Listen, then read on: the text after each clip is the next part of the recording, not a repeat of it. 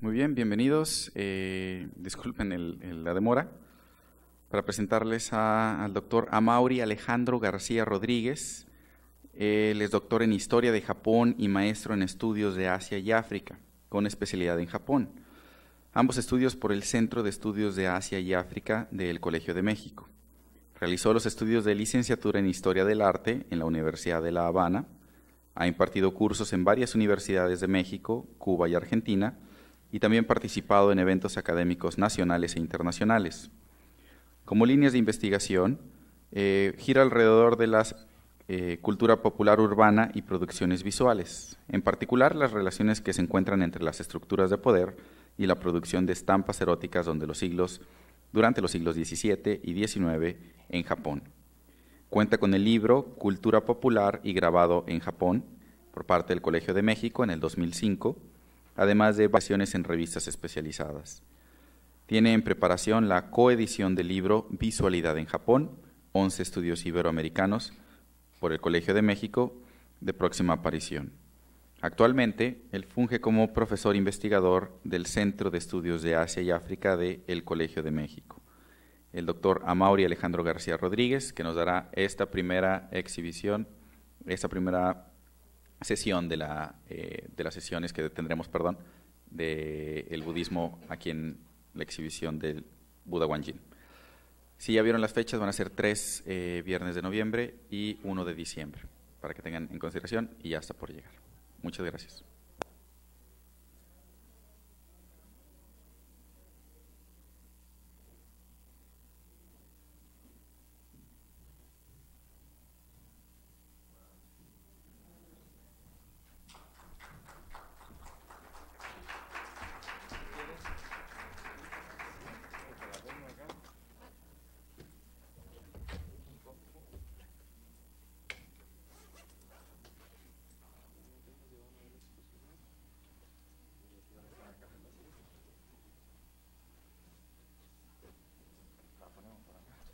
Noches.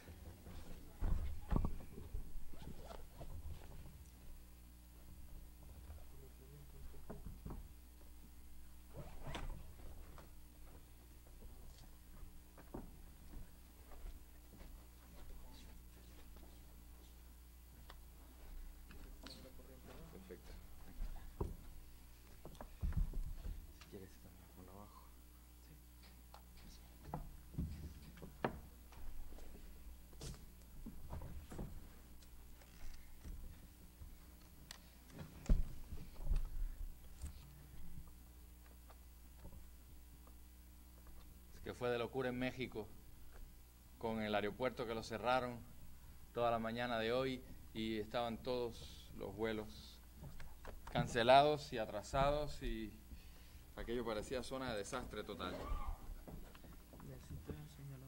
Eh, ya, aquí traigo, sí, sí, sí, no te preocupes. ¿Ya está el cañón puesto y todo? Sí, nomás de y sí. aseguramos Perfecto. Que haya señal y, y listo.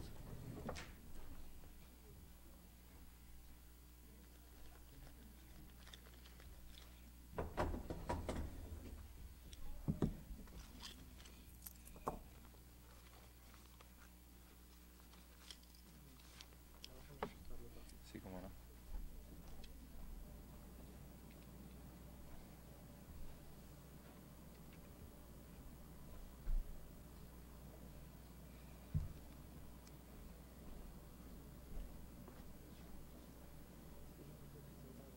Sí, pero no te preocupes.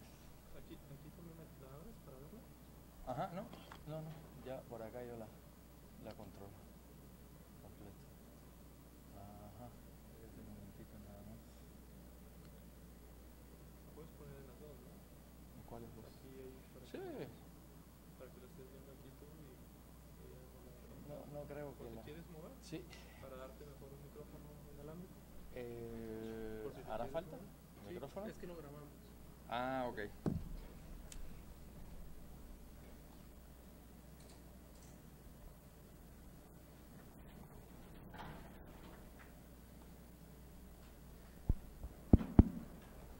si hace falta micrófono. Para ustedes. Sí, aquí ya está, prendido y ya no.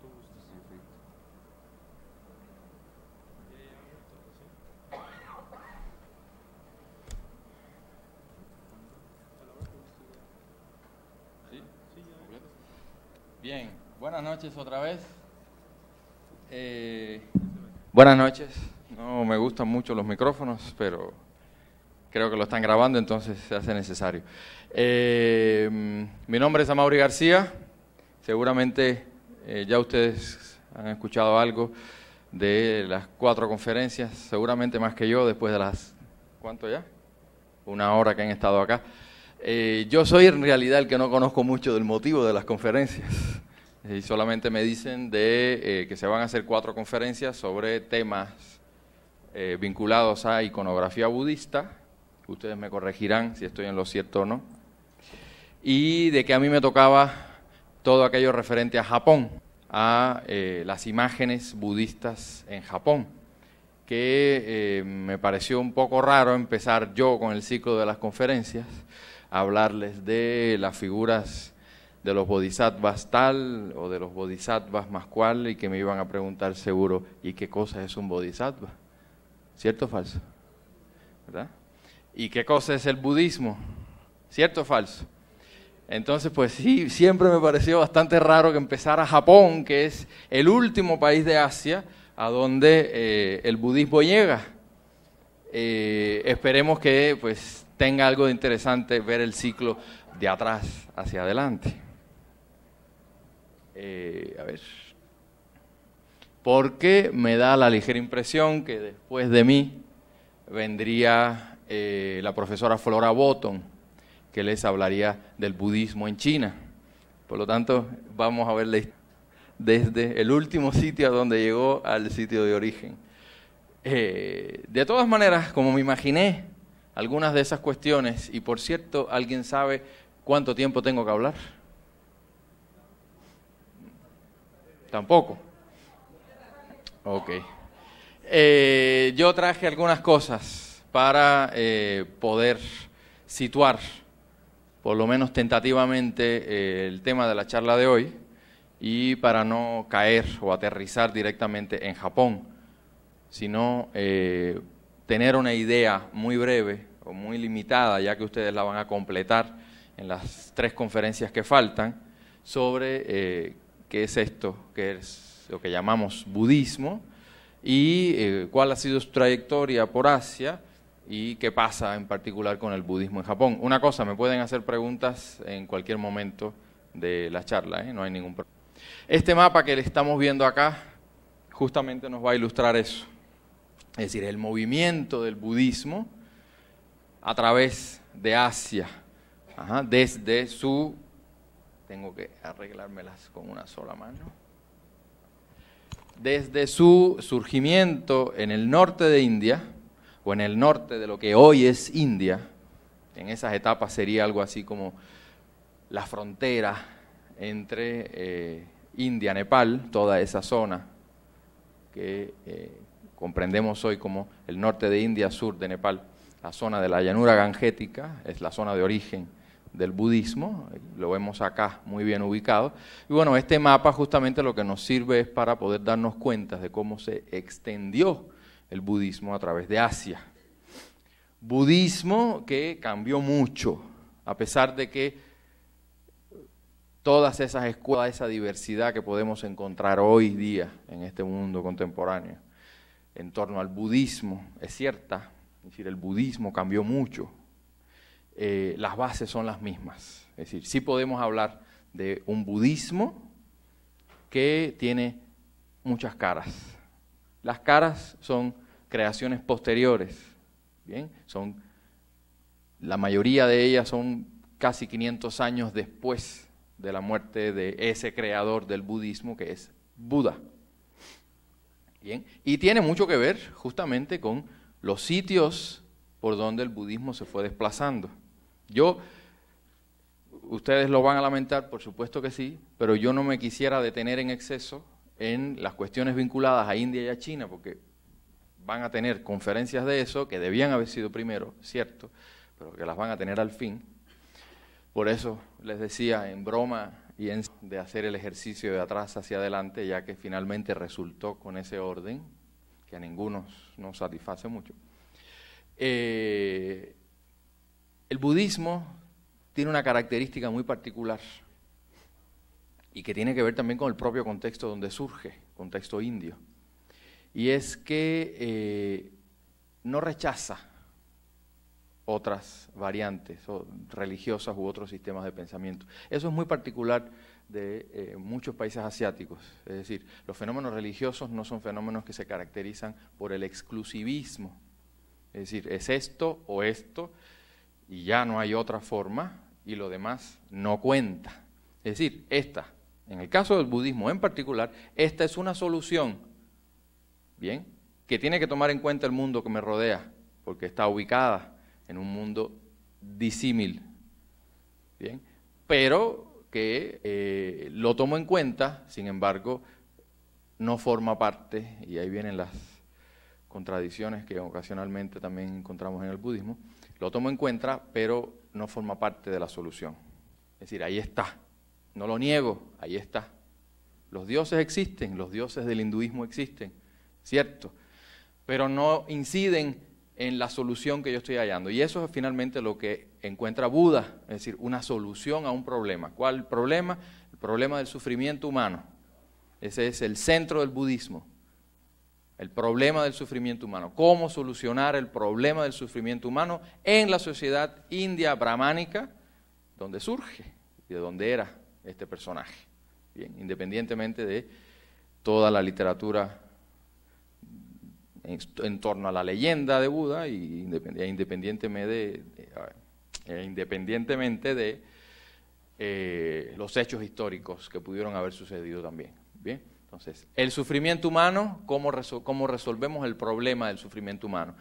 El ser humano sufre constantemente, plantea Buda, sufre por la enfermedad, sufre por la muerte, sufre por la vejez, sufre por el amor, por el desamor, todo es causa de sufrimiento porque todo está basado en el deseo, en la sed, en los apegos.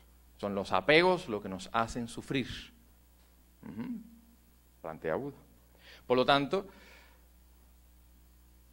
mejor dicho, y sigo, si a esto entonces le sumamos cuáles son algunas de las leyes que funcionaban en ese momento dentro del pensamiento brahmánico en India, como por ejemplo la ley del karma, que seguramente ustedes han escuchado hablar del karma, la ley de causa y efecto. Es decir, todo lo que hagas en esta vida va a tener repercusiones en tus vidas posteriores, porque otra de las leyes fundamentales que van a estar eh, funcionando en esta etapa va a ser el samsara, que hoy día quizás es más famoso por un perfume que por el samsara en sí, pero el samsara no va a ser otra cosa que el ciclo de vida, bueno, de nacimiento, vida, muerte, reencarnación. Nacimiento, vida, muerte, reencarnación. Y así sucesivamente. Es decir, estamos atrapados en ese ciclo, plantean, es decir, ese, esas eran las ideas que existían en India antes, desde antes de aparecer Buda. Estamos atrapados en ese ciclo, no hay manera de salir de ese ciclo, aparentemente. Sí hay formas, y hay muchos que van a tratar de encontrar formas para salir de ese ciclo. La renuncia era una de las maneras que se intentaba buscar para esto. Pero bueno, eh, frente a esa situación, pues eh, el ser humano pues, se pasa la vida sufriendo.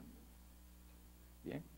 Y no solo la muerte lo acaba, la muerte no lo acaba, la muerte es un paso para seguir viviendo y por lo tanto seguir sufriendo. ¿Qué dice Buda? Pues tenemos que tratar de romper con ese ciclo. Uno. Dos, tenemos que romper con los apegos y con, los o con el deseo, que es lo que nos hace estar atados a esto que creemos que es la vida o la realidad cuando no lo es. Porque por las cosas que sufrimos son, o mejor dicho, las cosas por las que sufrimos y nosotros mismos también son impermanentes. Por lo tanto, ¿cómo hacemos para esto? Bueno, él encuentra una solución ante eso. Y la solución va a ser lo que se conoce como el camino medio, o lo que entendemos nosotros como el budismo. Es decir, ni la vida de palacio que llevó cuando era joven, viril y muchachón, ¿bien? De excesos, de placeres, ni la vida de extremos de los ascetas, de los yogis que él también llevó y que casi se muere por eso. Es decir, hay que encontrar la posición media. El camino medio. Trabajando la meditación, trabajando la mente. Es a través de la mente y de la práctica de la meditación y de una vida correcta. Y por ahí vienen, pues, eh, el famoso camino óctuple que él habla, que, pues, que tiene que ver con cuáles son los comportamientos que el ser humano debe llevar durante su vida para poder llevar esa vida correcta. Y que bueno, podemos encontrar similitudes con montones de otras religiones donde también se dan normas, es decir, eh, maneras de comportarse, es decir, no mentirás, mm, no me, no, eh, bueno, en el caso de nosotros sabemos cuáles son. En este caso será tirás, es decir, la palabra debes usarla también de manera correcta, debes eh, realizar una correcta meditación, una correcta concentración para que puedas llegar a un correcto estado de samadhi o un corre- una correcta iluminación. La iluminación lo que te va a hacer, la iluminación en realidad es un estado mental, un estado de conciencia, que te va a permitir ver la realidad tal como es y no como creemos que es. Es decir, muchas veces se habla la palabra de quitar el velo. Te hace ver las cosas como realmente son. Y a partir de ese estado particular es que puedes finalmente encontrar la solución al término del sufrimiento de la vida, que es lo que en budismo se llama nirvana, que no significa otra cosa, extinción. Es decir, lograr la extinción. Y la extinción en el sentido más absoluto posible. No morirse. La muerte no es la extinción, la muerte es un paso a renacer. Es la extinción. Simple.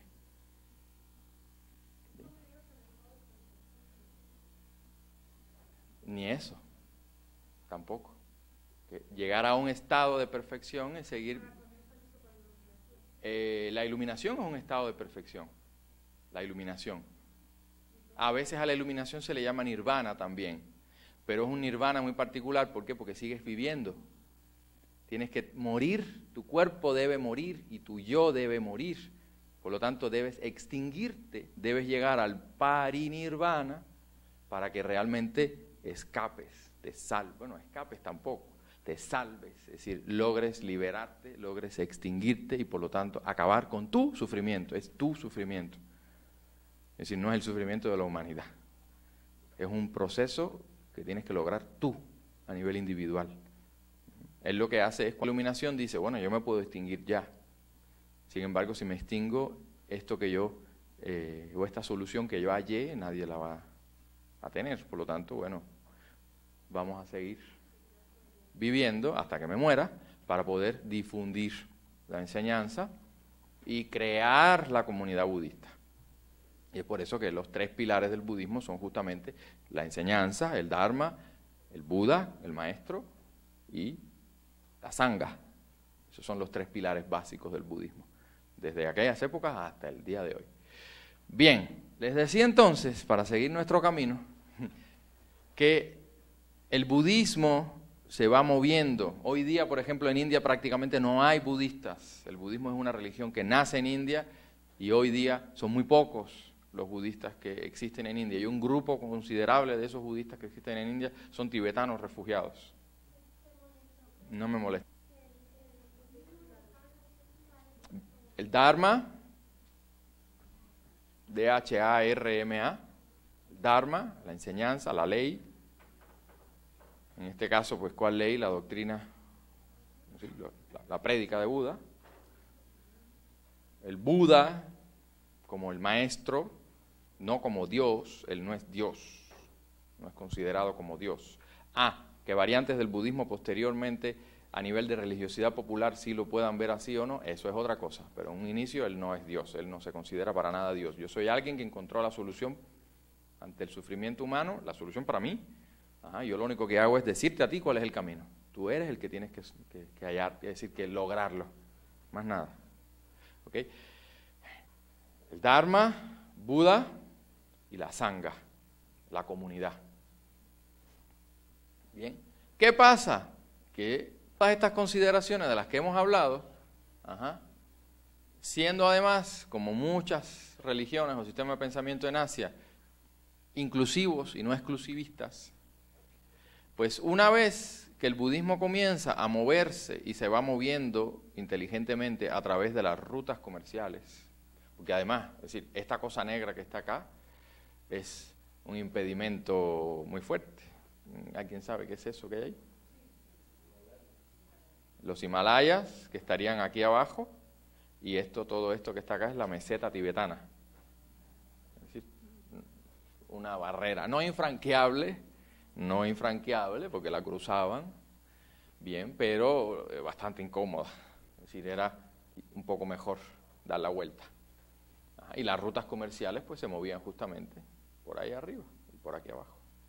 La ruta de la seda, recuerden, que atraviesa toda esta zona de acá.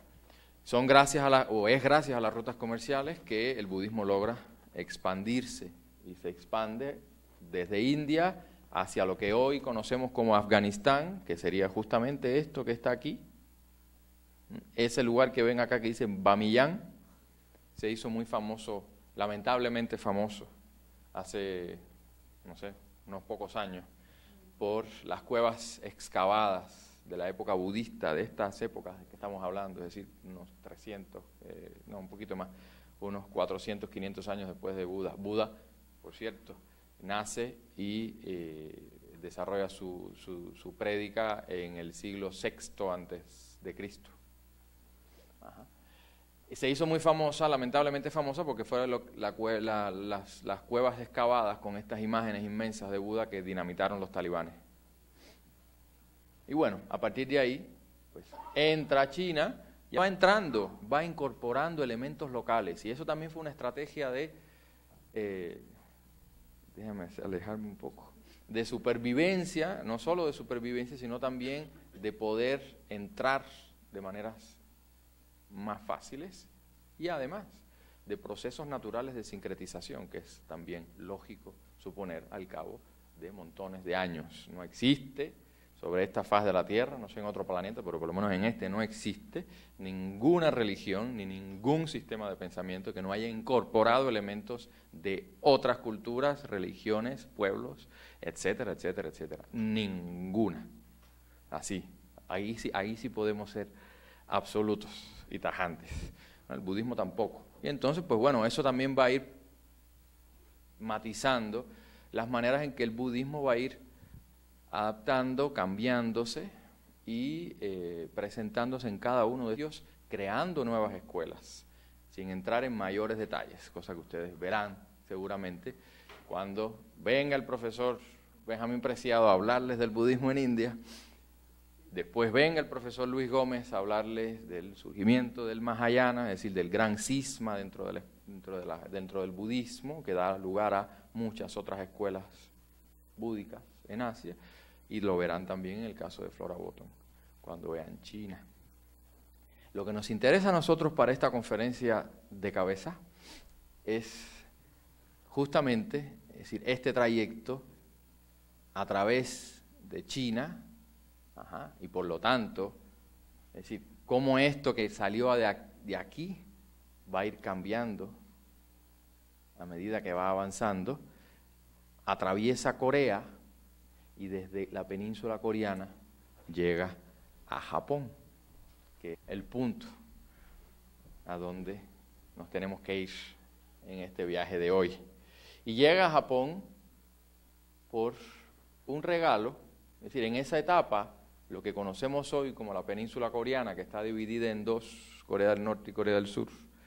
En esa época, y estamos hablando ya, es decir, de la época en que llega a Japón, estamos hablando del siglo VI después de Cristo, es decir, bastante tiempo después de la muerte de Buda, ¿cierto?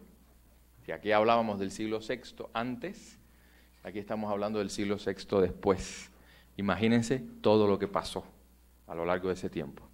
Bien, y aproximadamente sobre esa fecha, cuando ya en las islas de Japón, y ahorita paso al mapa de Japón para que lo vean con más detalle, se puede hablar de un estado centralizado, que es el famoso estado de, o el estado de Yamato, Y-A-M-A-T-O, Yamato. Llega un regalo del rey de Pekche, del reino de Pekche, que era este reino que se encontraba aquí en la parte sur occidental de Corea. Es decir, Corea en esa época estaba dividida en tres reinos importantes.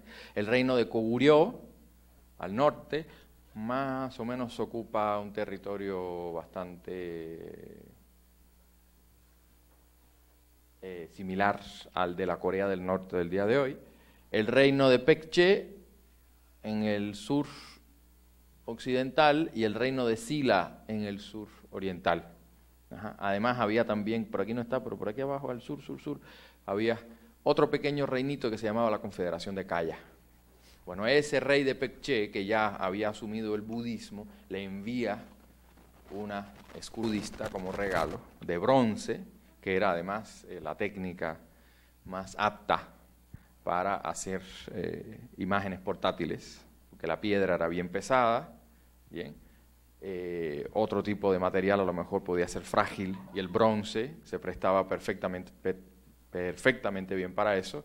Ya en esas etapas la técnica de la cera perdida estaba más que avanzadísima en toda esta zona de Asia. Por lo tanto, el bronce justamente y las imágenes pequeñas de bronce, huecas, eran las que más eh, se utilizaban tanto para eh, imágenes portátiles como para enviar de regalo bueno, esa imagen que se supone que haya sido de un bodhisattva, y ahorita vamos a eso, que se llama Maitreya, en japonés sería Miroku, es la que llega a Japón y ese es el primer contacto que tiene Japón con el budismo. ¿Dónde está? No, aquí.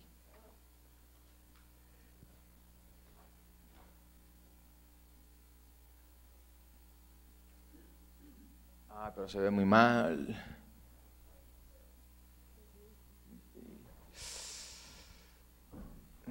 Está muy chiquitito aquí. aquí yo tengo otro. Me dejan buscar uno mm, mejor para que podamos. Este aquí no se ve nada bien.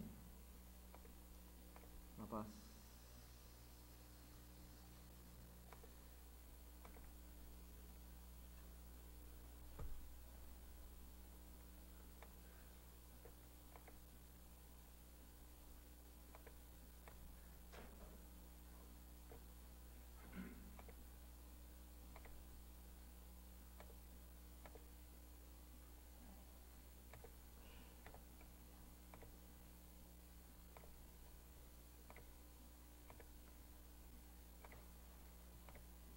¿Mejor? Sí, bastante mejor. Ok. Este es el mapa del Japón actual. Aquí me faltaría la península coreana, que estaría aproximadamente por aquí. Por lo tanto, el budismo entra a través de Corea, cruza el mar y entra a Japón por el sur. esto que vemos aquí abajo hoy día, que se llama el archipiélago de la Ryukyu, en esas etapas no tenía absolutamente nada que ver con Japón, ¿sí? ¿Qué porcentaje de la población coreana es budista? Yo Corea no la conozco mucho, pero yo creo que un gran volumen de la población coreana es budista. El problema, ahí viene otra situación, y qué, bueno que me hizo esa pregunta, a pesar de que no se la puedo responder con cifras. Eh, una cuestión interesante de Japón, y de China, pero de Japón sobre todo, que es a lo que yo me voy a referir más en particular hoy, eh, es las maneras en que la gente asume la religiosidad. Es decir, nosotros la gran mayoría de las veces, cuando hablamos de que si son budistas o son musulmanes o son eh, católicos o son judíos, pensamos de que son eso y son eso y ya. ¿Por qué? Porque las maneras en que nosotros asumimos el fenómeno religioso es así. Eres esto y eres esto, entre comillas. A veces nosotros mismos nos decimos, no, somos católicos. Y ya. Sin embargo, de vez en cuando nos vemos haciendo cosas que van más allá del catolicismo, ¿verdad? O de cualquier otra religión. y, le ponemos, qué sé yo, uno quiere que algo se dé y toca madera. Eso no tiene nada que ver con el catolicismo. ¿Por qué tocamos madera tres veces? O los rusos, ¿por qué hacen tres veces cuando quieren algo? O por qué uno cruza los deditos. Eso no tenía absolutamente nada que ver con el catolicismo. Nada. Eso tiene que ver con cultos populares, Es decir, con religiosidad popular, que a la mayoría de las veces ni siquiera sabemos de dónde vienen. Por ejemplo, hay eh, prácticas comunes en, en otras partes de América Latina, no sé en México, ustedes me dirán si sí o si no, es en ocasiones poner un ojo, un dibujo de un ojo, ujú, como símbolo de buena suerte, a veces hasta detrás de las puertas. ¿Sí lo han visto? Unos sí, otros no. Ese ojo es el famoso ojo de Fátima. Eso viene, tampoco viene, mejor dicho, del Islam. Es decir, el Islam como religión tampoco plantea eso. Eso forma parte de la religiosidad popular de los pueblos que después se islamizan. Entonces, nosotros mismos somos una cosa entre comillas, pero eso nos sirve para definirnos a nosotros como tales. Es decir, somos o católicos, o en el caso del Islam, o somos musulmanes, o en el caso de los judíos, somos judíos. Y somos eso y ya. Bien, pero no todas las religiones se plantean así, de esas maneras tan exclusivas, ¿sí? Sí, sí.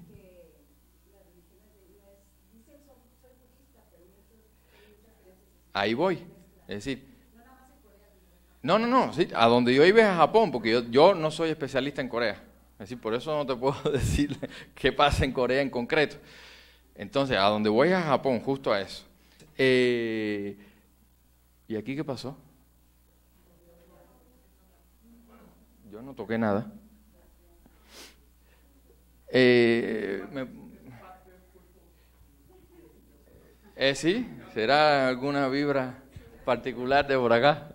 ok, entonces, eh, pero, eh, pero esto no solo es, es único de Japón. Es decir, muchos de estos sistemas de pensamiento no funcionan así. No funcionan y que esto es lo único posible y se acabó. No, es decir, hay alternativas, alternativas que conviven y por lo tanto puede ser una cosa y otra y otra y otra y otra.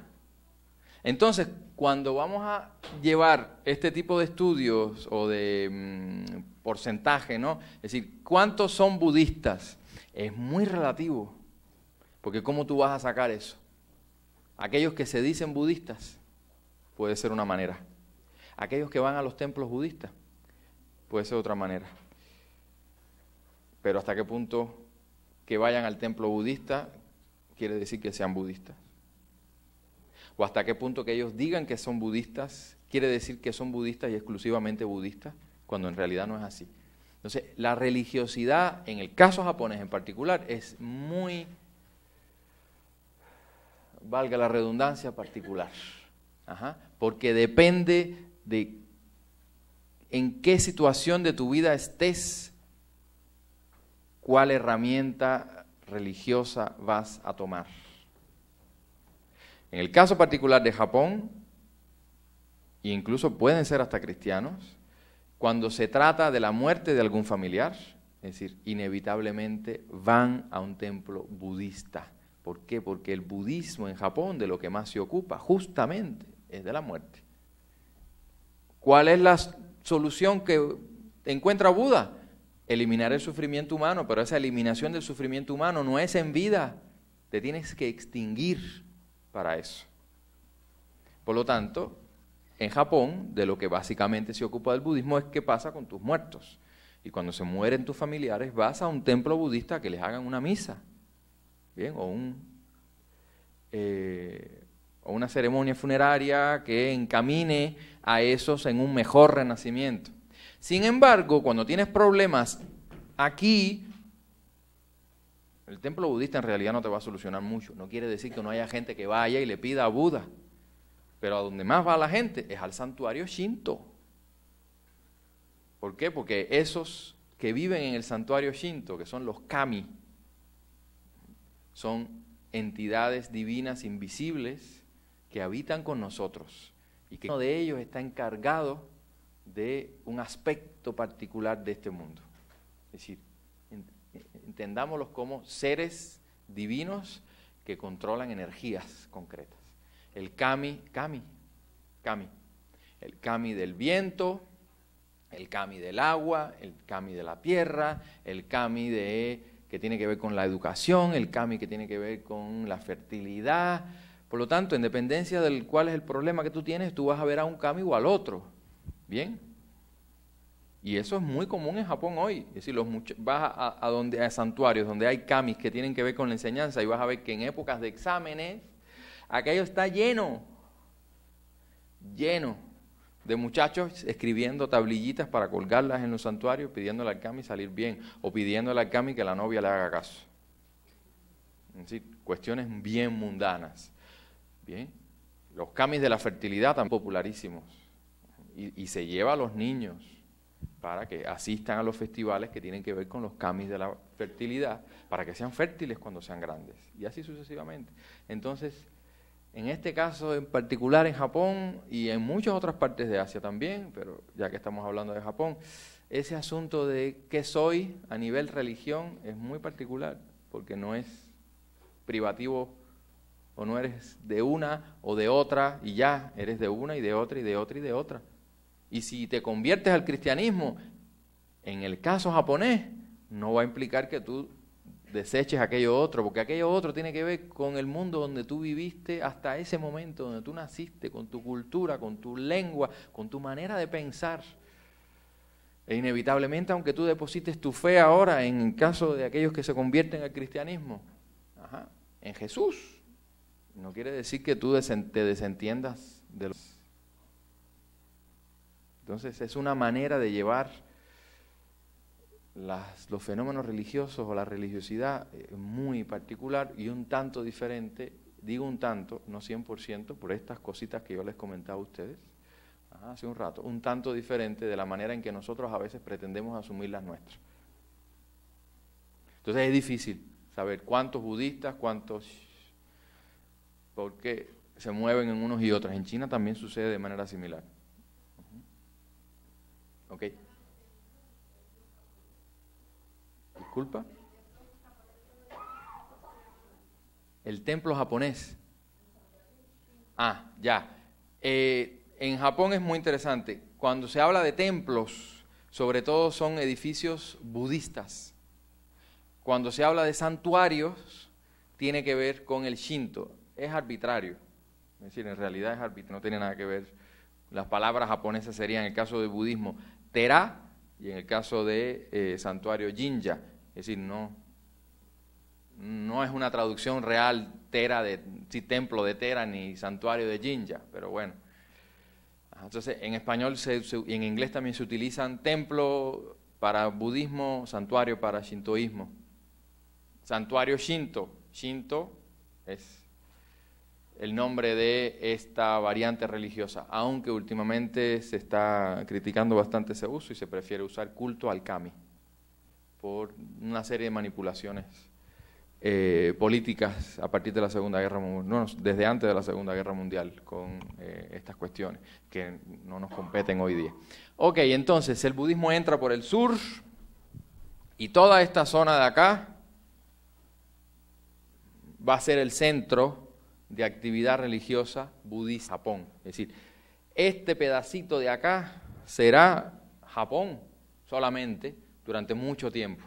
Nada de esto era Japón y nada de eso tampoco era Japón, incluso hasta el 19. Es decir, la isla de Hokkaido, que hoy día forma parte de Japón, es decir, no se incorpora a Japón oficialmente hasta el, hasta el siglo XIX, igual que el archipiélago de la Ryukyu en el sur.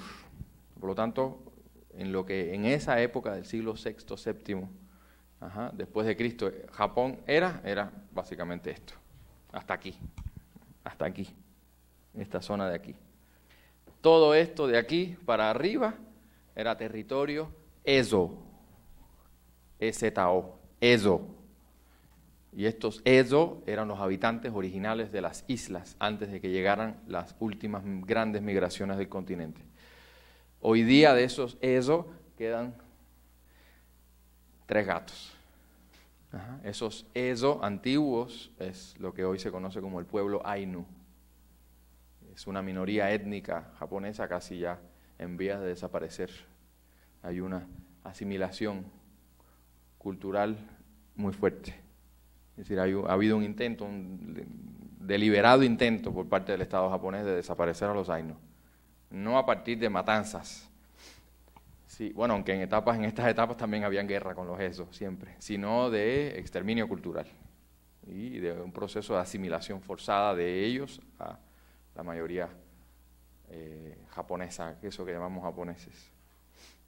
Ok, entonces el budismo llega, se inserta perfectamente, no sin problemas eh, ocasionales, sobre todo en una primera etapa habían grupos que decían, pues no, no, el budismo es una religión extranjera, es decir, si la adoptamos vamos a entrar en conflicto con los... y por lo tanto, pues no. Y bueno, hubo otros que sí estaban a favor y que finalmente son los que eh, favorecen la introducción del budismo, que en una primera etapa entra como religión de Estado, básicamente. no va a tener un impacto eh, a un nivel mucho más popular hasta muchísimo tiempo después, más en específico el siglo XII. Hasta el siglo XII aproximadamente, el budismo no comienza a eh, relacionarse con sectores no de poder.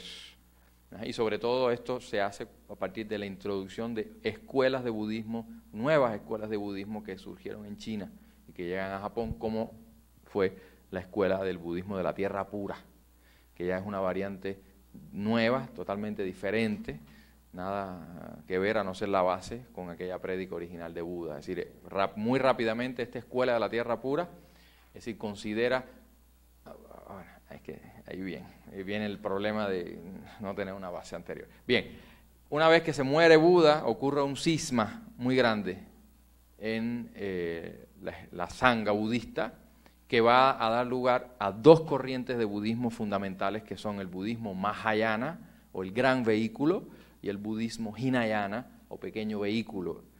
Esos nombres de gran vehículos y pequeños vehículos son dados por aquellos que se separan. Los que se separan se nombran a sí mismos, los reformistas se nombran a sí mismos como gran vehículo y nombran a los más apegados a la doctrina original de Buda pequeño vehículo, cosa que no les dio ninguna gracia a los más apegados que les llamaran pequeño vehículo. Hoy día tampoco les da mucha gracia que le sigan diciendo hinayanistas. Pero bueno, eh, es esa escuela mahayana la que se expande por Asia y cambia mucho. Una de las cosas que considera esa escuela mahayana nueva es que no solo ha habido un Buda, este que llamamos, o que fue Siddhartha, el que llamamos Buda, y que hizo su prédica en el siglo V, ha sido el último. Pero han existido otros Budas en etapas anteriores. El problema está en que esos budas se extinguieron, ¿verdad? Y por lo tanto nosotros no los conocemos. Pero además ahí no se acaba la historia. 56 millones, 56 billones, no sé cuántos millones de años después de la muerte de este Buda, que sí fue el último, vendrá otro Buda más, que se llama Maitreya, que le dicen el Buda del futuro, que por ahora está meditando por ahí arriba por no sé qué espacio sideral, ganando poderes hasta que eh, al cabo de esos no sé cuántos billones, 56 billones de años, la gente se olvide de la prédica de Buda y entonces él bajará a recordarla. Entonces vamos a ver que ya hay una escuela que sí ha realizado, o una comienza a realizar un proceso de deificación de la imagen de Buda, aunque él mismo no se consideraba Dios aunque muchos de los monjes mahayanas digan de que no son dioses realmente, son artificios para facilitar el proceso de expansión del budismo, pero mucha gente los asimila como dioses. Si, se, les, puede hablar de dioses concretamente. Bien, el Mahayana dice eso, que han habido muchos Budas. Ah, ahí está el Buda de la tierra pura del occidente, está el Buda de la tierra pura del oriente, que se llama Amitabha, pero además ahí no se queda. Si hay muchos Budas, también van a haber otras entidades divinas, como son los Bodhisattvas, nombre que les mencioné hace rato. ¿Quiénes son estos Bodhisattvas? Son seres que alcanzan la iluminación, pero renuncian a la extinción para poder ayudar a los demás. Por lo tanto, eso es interesante porque comienza a aparecer una entidad divina en la que tú puedes depositar tu fe porque está ahí para ayudarte. No te va a dar la solución, pero te va a ayudar. Bien. Entonces vamos a ver que el panteón iconográfico budista va a comenzar a crecer. Y van a aparecer entonces imágenes y figuras del Buda tal, el más cual, el otro y el otro y el otro y el otro, y bodhisattvas, el tal, el más cual, el, otro y el otro y el otro y el otro y el otro, y ahí no se acaba, y los cuatro reyes de los puntos cardinales, que también van a ser deidades importantes dentro de ese panteón budista mahayana, protectores de la fe, etcétera, etcétera, etcétera, etcétera. Veremos nosotros algunas de esas el día de hoy, lo que tiene que ver con Japón. Ajá, pero ¿por qué salté a esto? Ya. Eh, esa escuela de budismo que comienza a tomar en cuenta a una masa de gente mucho mayor que las estructuras políticas, poder japonés de ese momento, es justamente esa escuela de la tierra pura, la que considera al Buda de la tierra pura del este, Amitabha. Ajá. Ese es el Buda principal para ellos, no le restan importancia a eh, el Buda histórico, o Shakyamuni, que como se le conoce, pero es más importante para él. ¿Por qué? Porque ese, si tú te portas bien, plantea la escuela de la tierra pura, de, eh, la tierra pura, si te portas bien, si tienes una vida correcta y eres devoto de Amitabha, los japoneses le dicen Amida, pues Amitabha te va a llevar cuando te mueras para el paraíso de la tierra pura que él gobierna, para que ahí la pases bien, no permanentemente, sino para que ahí puedas alcanzar poderes y puedas desarrollar la práctica de la meditación de mejores formas, de manera de que en algún momento futuro, en alguna vida futura, puedas liberarte finalmente. Pero ese paraíso particular es un espacio intermedio, es decir, es una temporalidad bastante eh, sui generis, porque es el momento en que te mueres y vuelves a renacer, que en este, en este mundo puede ser un instante o puede ser un tiempo breve, pero en esa espacialidad, en esa temporalidad particular divina puede ser largo. Entonces, ese es el tiempo que vas tú a pasar con Amida si te portas bien, si te portas mal lo vas a pasar con Emma o el rey Emma, Emmao, allá abajo. Ya saben dónde. Allá abajo, sufriendo los castigos del infierno budista, que yo creo que es más sádico todavía que el dantesco. Entonces, esas son particularidades que nada tienen que ver con la doctrina original de Buda. Bien. Eh, ella es la que comienza a difundir el budismo a nivel popular en el siglo, les dije, el siglo XII. Y a partir de ahí comienzan a entrar otras escuelas más. Es decir, Japón hoy día, es decir, en Japón hoy día encuentran muchas escuelas de budismo. Encuentran escuelas de budismo esotérico, como el budismo Shingon, por ejemplo, con S, por favor. Budismo Shingon, que significa la palabra verdadera. Es un budismo esotérico, es un tipo de budismo tántrico que también llega a Japón más o menos por esa fecha, siglo incluso no décimo, más o menos, todo de China. Sí, sí, sí, todo entra. China, Corea. Budismo Shingon es un tipo de budismo, budismo de la tierra pura. Hay, hay escuelas de budismo japonesa, como es la, la escuela Nichiren, el budismo Zen, que también entra de China. Eh, el budismo Tendai, el budismo Kegon, es decir, hay muchas, muchas budismo en Japón, cada una con particularidades. Hay una que también es japonesa, por ejemplo, que se llama la Nueva Escuela de la Tierra Pura, que llega a extremos donde no llega ninguna otra escuela de budismo, porque el fundador de esa escuela, que se llamó Shinran, plantea, por ejemplo, que nosotros estamos aquí, es decir, Buda sabe que estamos aquí y Buda sabe el mundo en que vivimos si, si vivimos y Él nos ha puesto en este mundo, si soportando los apegos y el deseo, Él lo sabe perfectamente bien. Entonces, si nosotros realmente tenemos fe en la, en la liberación que Buda enseñó, ¿por qué tenemos que preocupar tanto por los por qué tenemos que preocuparnos tanto por los apegos? Plantea este Shinran. Ahí están. No quiere decir que yo voy ahora a vivir en la opulencia total, pero ahí están, ¿por qué los voy a rechazar? Si Él sabe que están aquí y yo estoy consciente de lo que implican y estoy con la manera eh, en que puedo lograr la salvación, pero estoy aquí ahora. Por lo tanto, ¿por qué voy a rechazarlos? No tengo que abrazarlos tampoco, pero no los tengo por qué rechazar. Y uno de los apegos que no voy a rechazar es el sexo porque bueno, los monjes budistas son célibes, porque el sexo es un apego, ¿verdad? Como otros tantos deseos, es uno y bastante fuerte. ¿Sí o no? Ah. Por lo tanto, pues, no hay, ¿por qué los monjes no nos podemos casar y tener esposa y tener familia? Y la escuela de la nueva tierra pura, la escuela de budismo de la nueva tierra pura japonesa, los monjes se casan.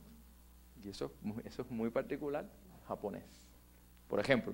Entonces, es importante que tomemos en cuenta esa diversidad en particular que vamos a encontrar en el budismo y en el budismo japonés, o en los diferentes, en las diferentes variantes del budismo japonés que hay. Entonces, volviendo a los intereses de lo que me dijeron que yo debía hablar aquí hoy, que era sobre iconografía budista en Japón, porque también me dijeron, y no entendí bien, que había una exposición acá, que yo no he visto, aquí en el, museo. Bueno, mañana a ver si por la mañana, ya no creo que me dé tiempo verla. De hecho, nos dieron, previo a llegar esto, nos dieron la exposición y nos explicaron las bases del budismo, y el budismo en China y en Tíbet y todo esto. Ah. Entonces ya sabemos algunas cosas. Ah, bueno, ok. No con profundidad, pero ya nos dan una idea general. De todas maneras, me hubiera gustado que la mía hubiera sido final. Bueno, y haber visto la exposición, porque no tengo la menor idea de qué es lo que hay en la exposición. ¿Cómo? Mañana en la mañana. Entonces, bueno, yo de lo que venía a hablar era de iconografía budista japonesa. Y si, si- a, no, a no ser que tengan alguna pregunta, alguna duda, sí, que ahorita lo vi, pero dije, "Ay, ¿me levantó la mano o no? Sí.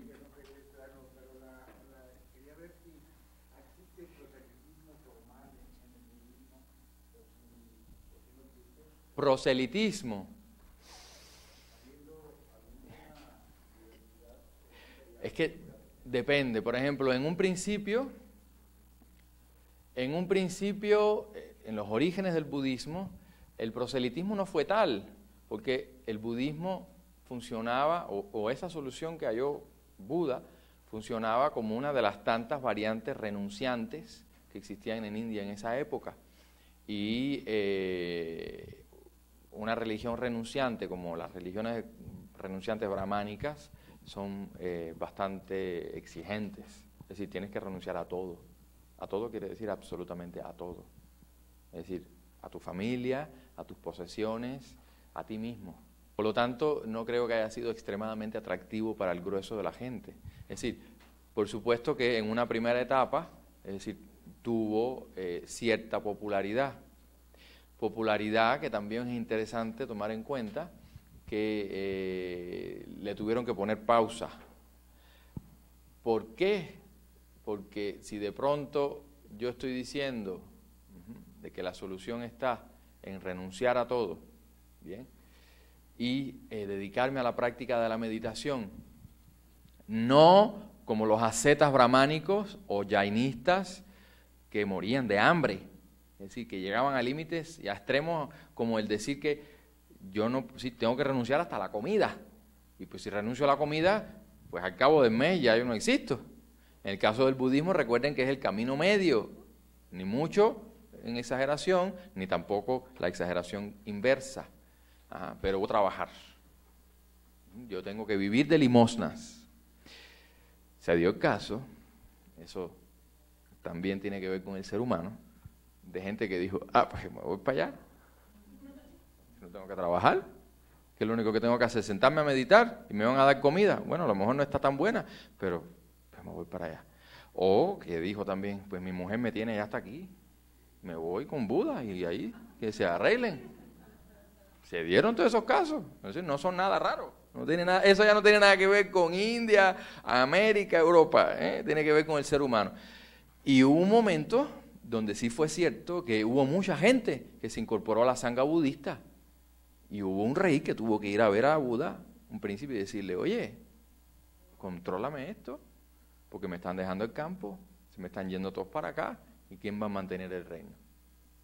¿Sí, ¿Quién va a trabajar para mí? Entonces, pues bueno, ahí a Buda dijo que bueno que solamente van a entrar a la sangha aquellos que no tengan familia que dependan de ellos controlar de cierta manera la cosa. Entonces, bueno, proselitismo no es, no es una religión que se caracterice por el proselitismo religioso, en sentido general. No quiere decir que no haya escuelas que sí lo hayan hecho. y estas escuelas que tuvieron intención en difundir el budismo en el grueso de la población, ganar base social mucho más amplia, sí lo hicieron en cierta medida, por supuesto que lo hicieron, pero no es algo característico del budismo. Es decir, es algo que tú tienes que decidir y entrar a la sanga. También hay niveles de compromiso, por supuesto. Está el monje, que sí es el que tiene el compromiso 100%, y está el simple creyente. Es decir, no todos son monjes. Porque, de nuevo, lo mismo, ¿no? Sí. Sí. Eh, en sentido general, no quiere decir que no hayan grupos que sí hagan labor proselitista, pero son grupos muy particulares, ¿no? Pero en sentido general no.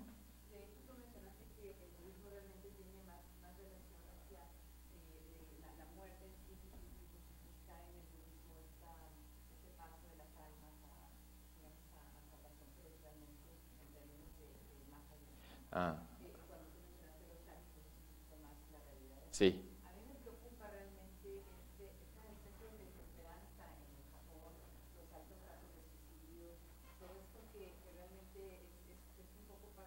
Hoy.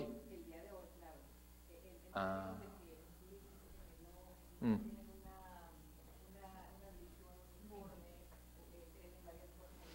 Ajá.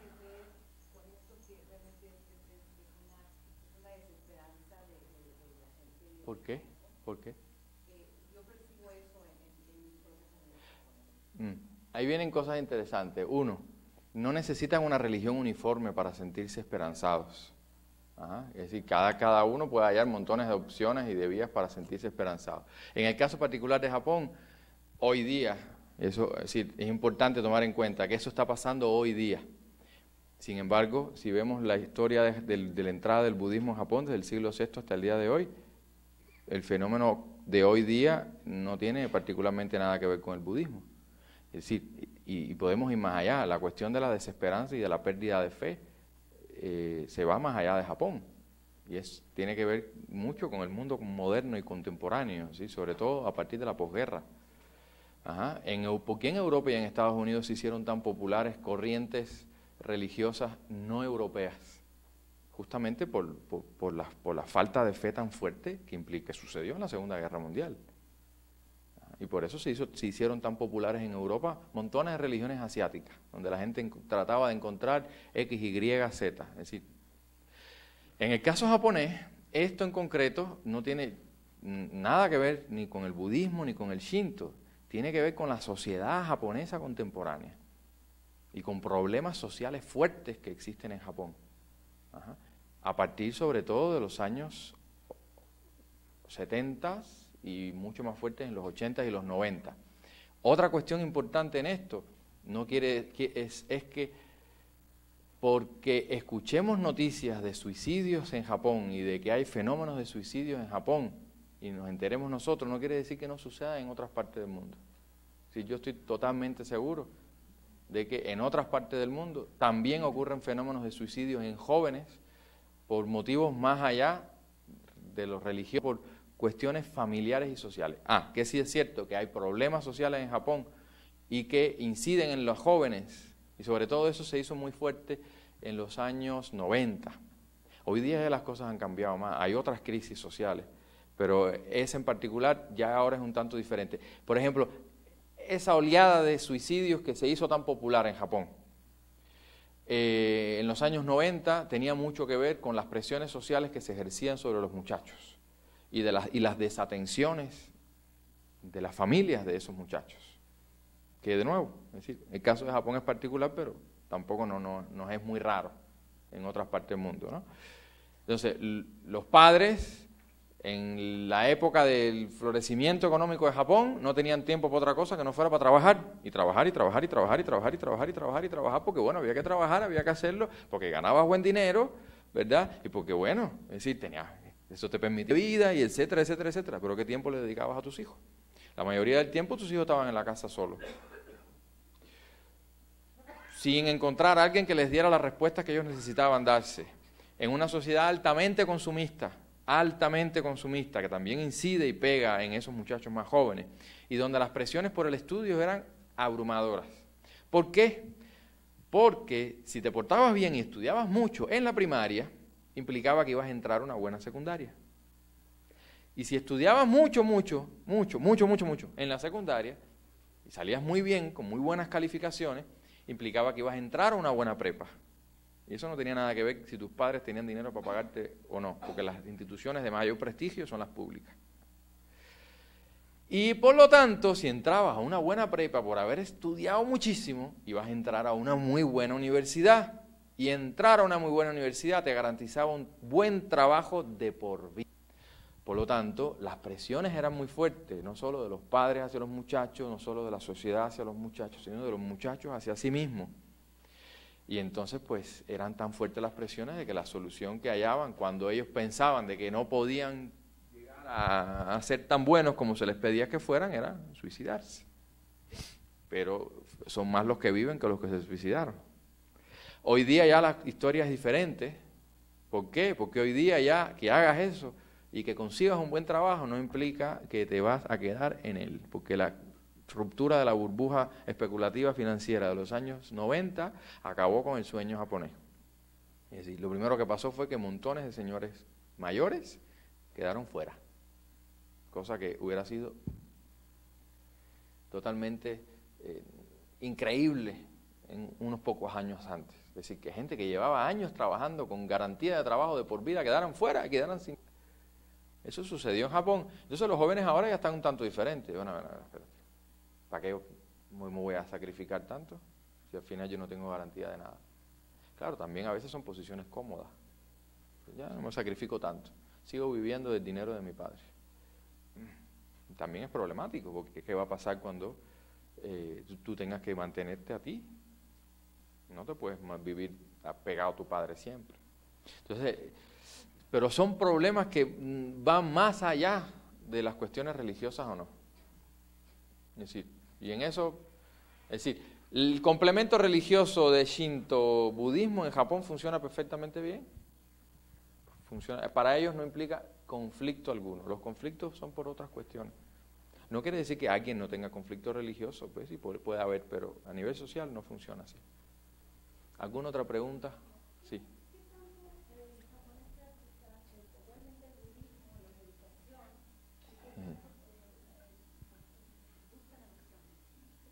Ah. Ya. No, no, no. Los caminos son parte del budismo, a pesar de que budismo y shinto se ha sincretizado mucho en Japón. ¿Qué tanto, qué tanto nosotros vamos y cumplimos con lo que supuestamente debemos hacer?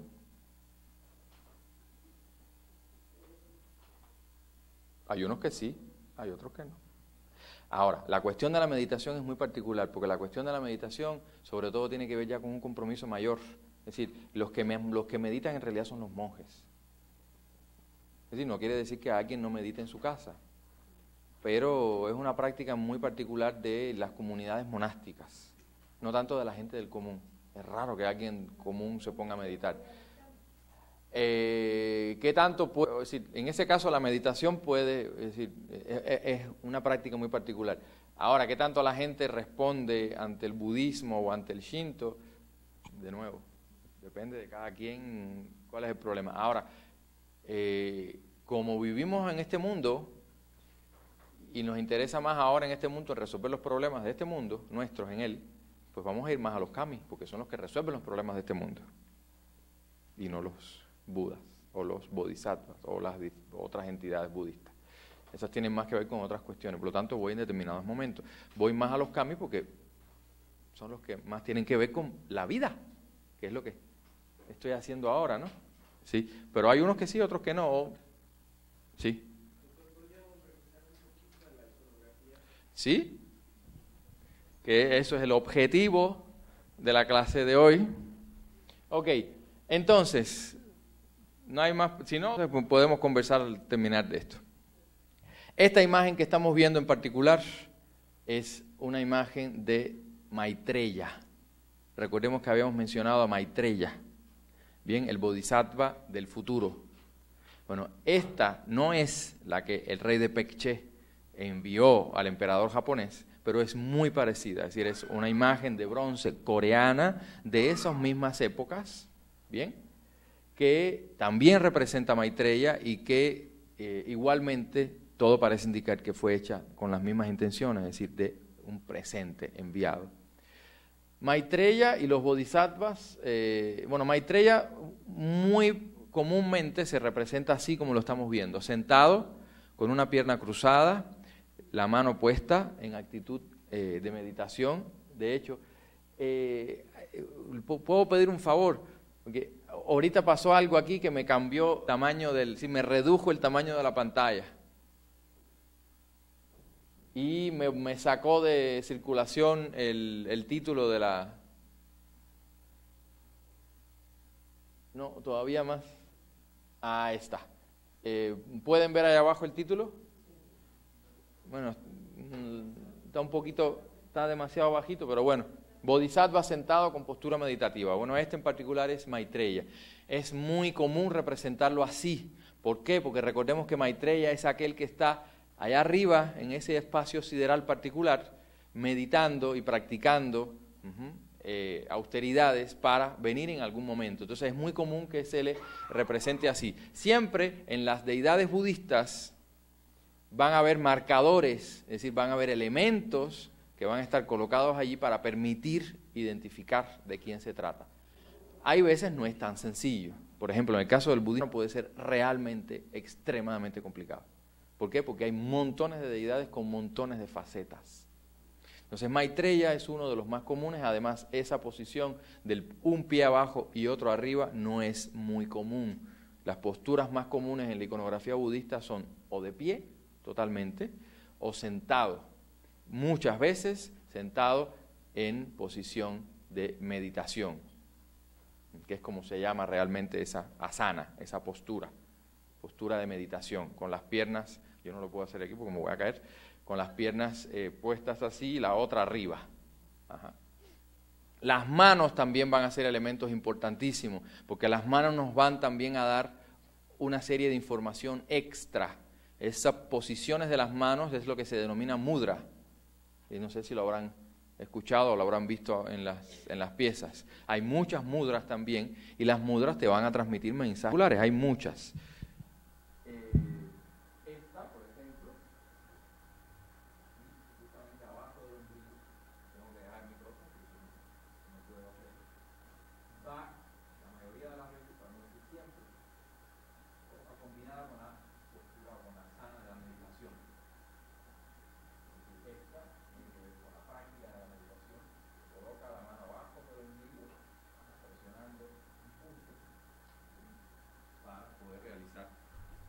La práctica de la meditación. Hay muchas otras más.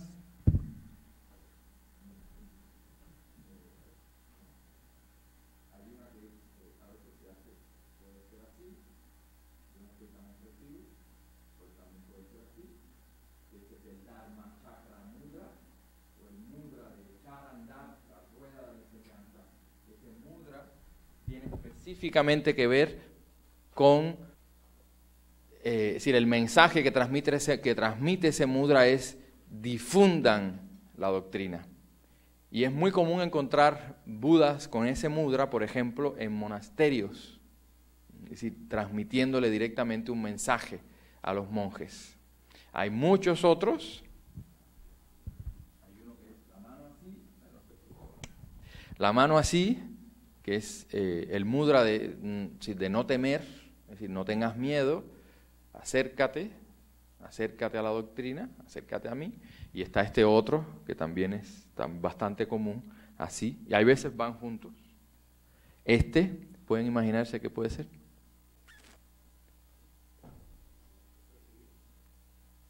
Contribuye con la sanga, contribuye con la comunidad, etcétera, etcétera, etcétera. Los mudras no son privativos del arte budista, el arte hinduista a los mudras. Entonces, bueno, aquí en este caso particular, esa asana o postura no es muy común, ¿ah? y muchas veces a Maitreya, que en el caso japonés se le llama Miroku, es decir, los japoneses hacen variaciones de los, de los nombres en sánscrito de estas deidades. Entonces es muy eh, común representar a Maitreya así. Otro punto importante más. Ahí no, es para acá. Ah, bueno, esto nada más se los traje de curiosidad. Este es eh, el templo más antiguo, el templo budista más antiguo que se conserva en Japón, que es el Horyuji. Eh, cerca de la ciudad de Nara, en las afueras de la ciudad de Nara. La ciudad de Nara fue el primer centro budista más importante de todo el país. Si Nara está hoy día a 45 minutos de la ciudad de Kioto y fue una de las más antiguas del país. Allí fue donde se establecieron las primeras y más fuertes escuelas budistas y tan fuertes se hicieron que el poder político decidió salir de Nara e irse a la hoy ciudad de Kioto y establecerse allí para alejarse del poder que tenían las escuelas religiosas budistas dentro de las estructuras políticas del país. Bien, este es eh, un típico Buda. Este no es Shakyamuni. Recordemos que el budismo que llega a Japón es budismo mahayana, por lo tanto ya considera de que existen numerosos Budas y numerosos bodhisattvas. Shakyamuni es el Buda histórico, o a quien llamamos Buda histórico. Los japoneses le llaman Shaka. Bien, este en particular es Aksobia. Sin embargo, mantiene las mismas características que permiten, que bueno que pusieron aire, que permiten identificar a cualquier Buda. Hay, varias diferencias fundamentales entre Budas y Bodhisattvas a nivel iconografía. ¿Eso vieron algo? ¿Cómo podemos diferenciar a un Buda de un Bodhisattva muy fácilmente? ¿Quién es el Buda? ¿O quiénes son aquellos que llamamos Budas? Seres que, que hicieron qué? que alcanzaron la iluminación y renunciaron. Primero renunciaron y después se iluminaron y después se extinguieron. Los bodhisattvas alcanzan la iluminación pero no se extinguen. es cuestionable eh, el por qué. Bien, pero un recurso que se utiliza para identificar unos y otros es que los budas no van a tener ningún tipo de adorno, absolutamente ningún tipo de adorno. Lo único que van a tener consigo es el sangati, que es esta especie, eh, no, es, no es una toga, pero bueno, algo parecido a las togas. Más nada, no van a tener ni collares, ni aretes, ni coronas, ni nada. Y los bodhisattvas, sí. Los bodhisattvas, ojo, hay algunos que no. Si se recuerdan la imagen de Maitreya, no tenía nada. Pero bueno, ese como es un bodhisattva especial, y a veces también se le dice Buda Maitreya en vez de Bodhisattva Maitreya. Pero bueno, ese es un caso particular. Los bodhisattvas van a tener coronas, van a tener aretes, van a tener adornos. ¿Por qué? Porque entonces se les compara con príncipes. Pues si son entidades divinas, tienen que ser de buena familia, ¿verdad? Si no, no tiene gracia. Entonces, tienen muchas joyas. Ese es un primer elemento que nos permite identificar en la iconografía cuando se trata de un Buda y cuando se trata de un bodhisattva. Hay más hay más elementos que los vemos también aquí, en este caso de Axovia, y que van a ser esas marcas importantes o marcadores, como se les llama. Vemos lo que les decía, la sana, la, mudra de contribuir a la sanga. ¿La ven? Bueno, lamentablemente el brazo este está partido, pero es muy probable que haya sido esta. muchas veces se utilizan en conjunto. Hay varios marcadores, es decir, supuestamente la iconografía budista desarrolla 32 marcas para identificar a Buda. Nunca están usadas las 32. Yo no he visto por lo menos una imagen que use las 32 porque es excesivo. Pero hay varias de ellas. El no tener adorno es una. Primera. Segunda, los lóbulos de la oreja alargados, que también seguro ustedes lo han notado no solamente en esta imagen. ¿Por qué?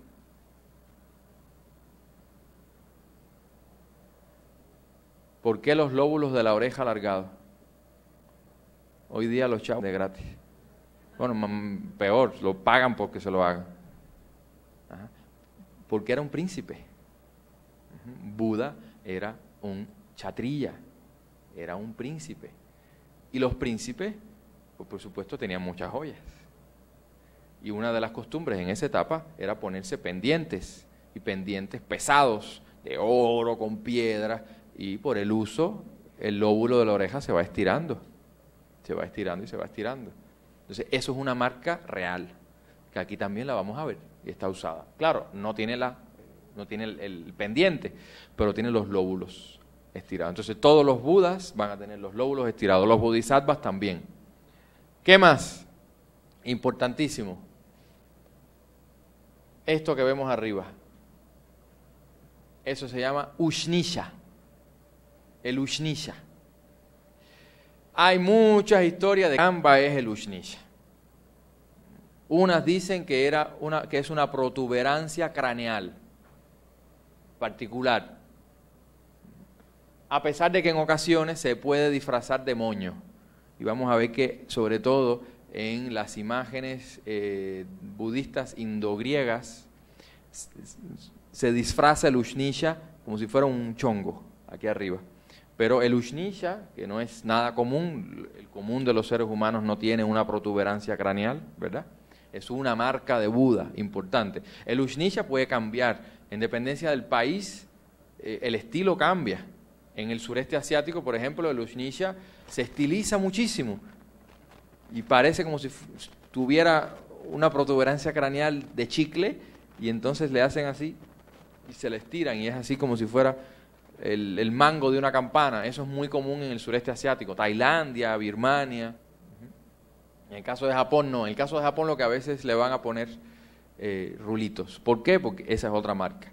Es decir, no tiene el pelo largo, tiene el pelo muy corto, aunque aquí parece casquito, es decir, como si fueran, lo hubieran pelado de estilo príncipe valiente, pero no. Es decir, él, su primer acto de renuncia no solo es salir del palacio, sino es cortarse el pelo, porque el pelo es uno de los elementos, uno de los atributos de la vanidad, sobre todo el pelo largo.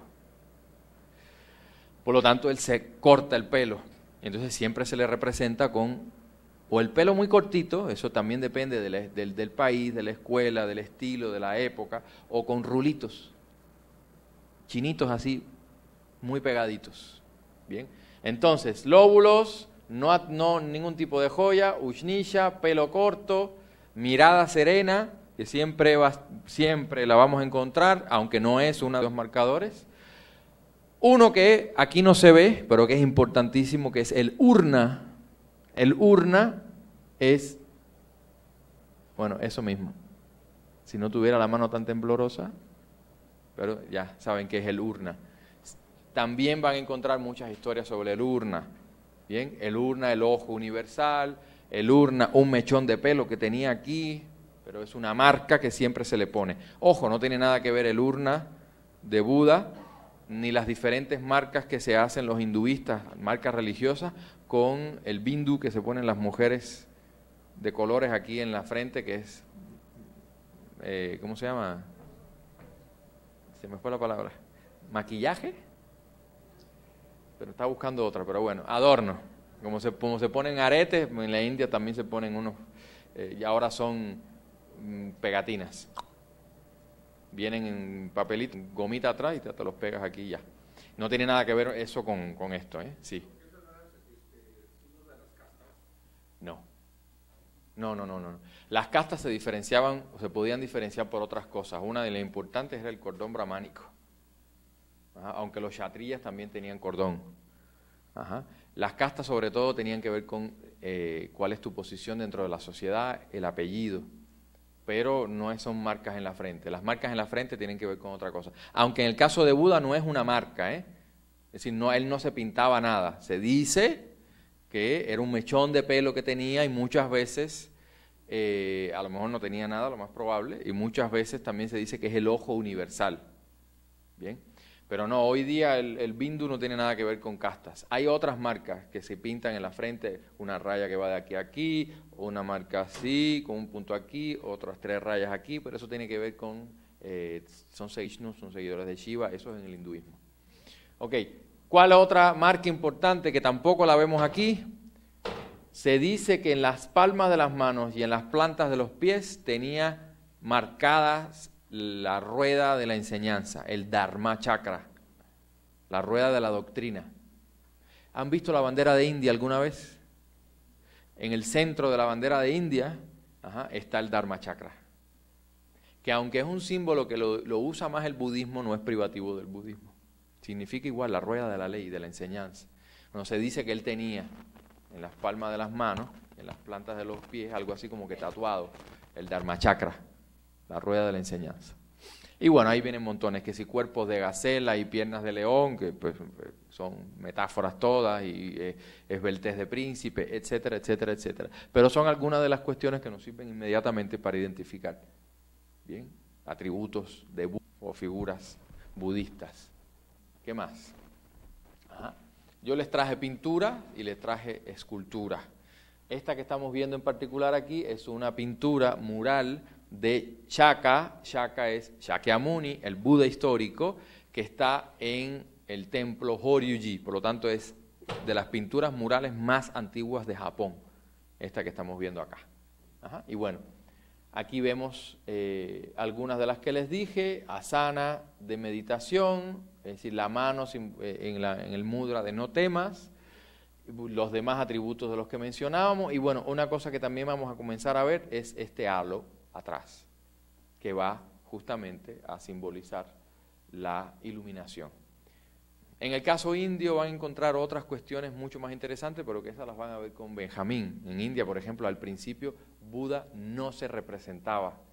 Es decir, para representar a Buda lo que se dejaba era el espacio vacío. El espacio vacío era la mejor representación posible de Buda. ¿Por qué? Porque si es uno que se extinguió, ¿Cómo lo voy a representar? Si es alguien que alcanzó eso, es decir, es indescriptible, irrepresentable.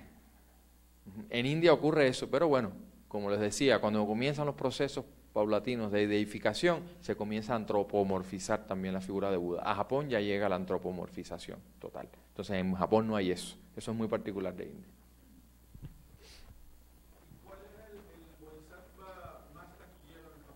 Ahora vamos. ¿Cuál es? Y todavía siguen siendo. Son, hay dos más taquilleros.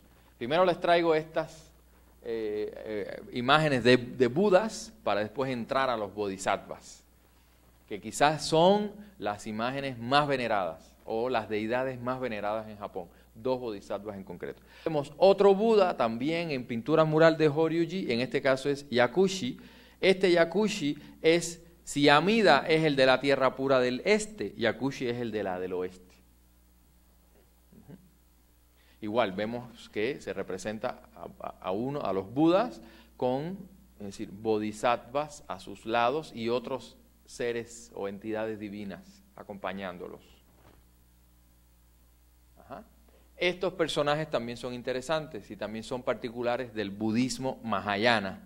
Estos son, se llaman Kongo Rikichi así Congo, como Congo el país, pero con K, Rikishi, con K también y SH. Los Congo Rikishi, que siempre son dos, por eso a veces se les dice ni o, es decir, los o es rey, ni en japonés es número dos, es decir, los dos reyes, son los protectores de la fe que siempre se colocan en las entradas de los templos budistas. En Japón, en China también lo encuentran, en Japón, pero bueno, ya que estamos en Japón, en todo templo, a la entrada de todo templo budista van a ver Kongo Rikishi, uno a cada lado de la entrada, porque son los protectores del templo, son los protectores de la fe. Es decir, que nadie se atreva a dañar el espacio del templo, que es un espacio sagrado, ni a dañar la fe. Bien, por eso son figuras agresivas. De hecho, son las figuras más dinámicas dentro de la producción, sobre todo escultórica japonesa, desde los principios del eh, budismo en Japón. Es decir, esta que estamos viendo en particular, que eh, además es inmensa, yo creo que mide aproximadamente como unos 6 metros de altura, es una pieza en madera ensamblada de 6 metros de altura, es angyo y, u, no, agyo y ungyo, que está uno frente al otro, hay veces, esta es la entrada y está uno aquí y el otro ahí frente a él. Hay veces que están así, mirando para el frente, aunque la entrada esté aquí. Eh, para mí son las figuras más interesantes en cuanto a eh, técnica, porque si comparamos los Kongo Rikishi o comparamos a otras deidades protectoras de la fe a nivel escultórico en Japón, Es decir, vamos a ver que por regla general las otras se caracterizan por ser demasiado hieráticas. Ajá. Muchas veces, eh, en ocasiones, lamentablemente, se encuentran unos textos que habla de que la escultura japonesa hasta el periodo Kamakura, es decir, hasta aproximadamente el siglo XII, se caracteriza por un hieratismo.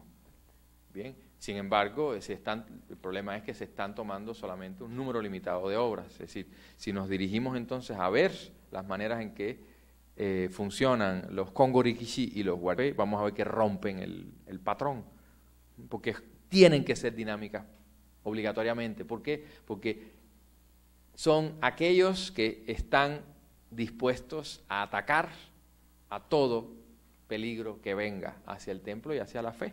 Entonces vamos a ver que siempre tienen estas caras agresivas, tienen los cuerpos musculosos en movimiento constante. En este caso, pues el movimiento lo vamos a ver acentuado por esa flexión que tiene en la cadera, que eso es eh, eh, un elemento muy típico de la escultura india que se llama tribanga, la triple flexión, y por el movimiento además de eh, la parte de abajo de la ropa que trae. Este es uno de los guardianes de la fe del templo Todaiji en Japón, en Nara también, y este es el otro Ungyo, el otro guardián de la fe. Estas figuras también son típicas del budismo mahayana, no las vamos a encontrar en otras variantes. Este es uno de los más populares. Ojizo, los japoneses le llaman Ojizo Sama. Jizo en sánscrito sería Kshitirgarba.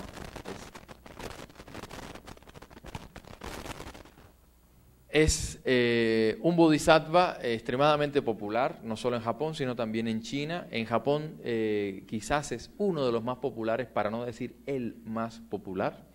Una manera inmediata de identificarlo es eh, que está totalmente rapado. Bueno, aquí, por ejemplo, ven el urna. Hay algunos bodhisattvas que van a utilizar también estos eh, atributos. No es Buda, es decir, ¿por qué no es Buda? Porque Buda no se representa nunca totalmente rapado. Bien. Jiso o Kshitirgarba, vamos a ver que está totalmente rapado. En ocasiones vamos a ver que flor de loto en la mano, en ocasiones vamos a ver que tiene este pequeño vasijita y también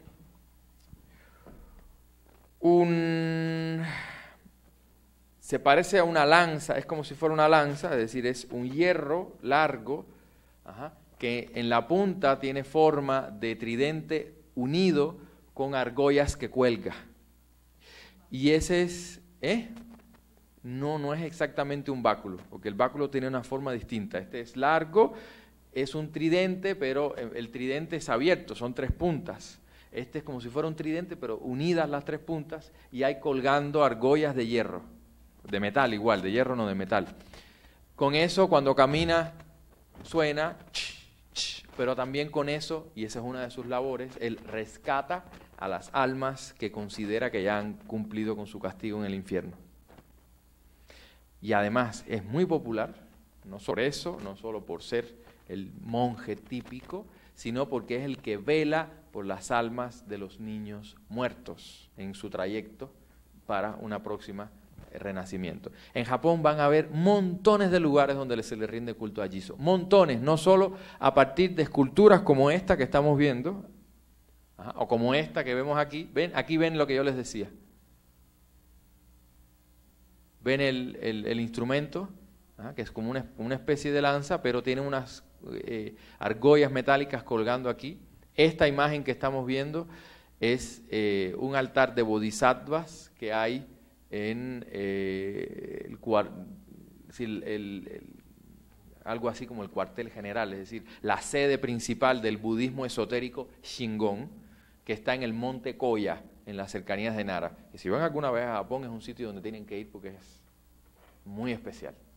Es un sitio muy, no es un sitio turístico, normalmente eso no forma parte de los recorridos turísticos. El monte Koya es el centro del budismo esotérico en Japón y bueno, en este caso está, este es en invierno y están, eh, es decir, este altar de bodhisattvas, en los que la gente, ven aquí eh, estos eh, depósitos de agua, lo único que ya es invierno, está todo congelado, y hay como unas cantaritas, si la gente recoge agua y la echa a las figuras, por eso están todas la mayoría de ellos congeladas.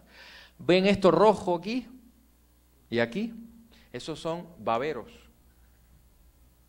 baberos de niños. El babero de niños es una de las ofrendas por excelencia en Japón para Jiso.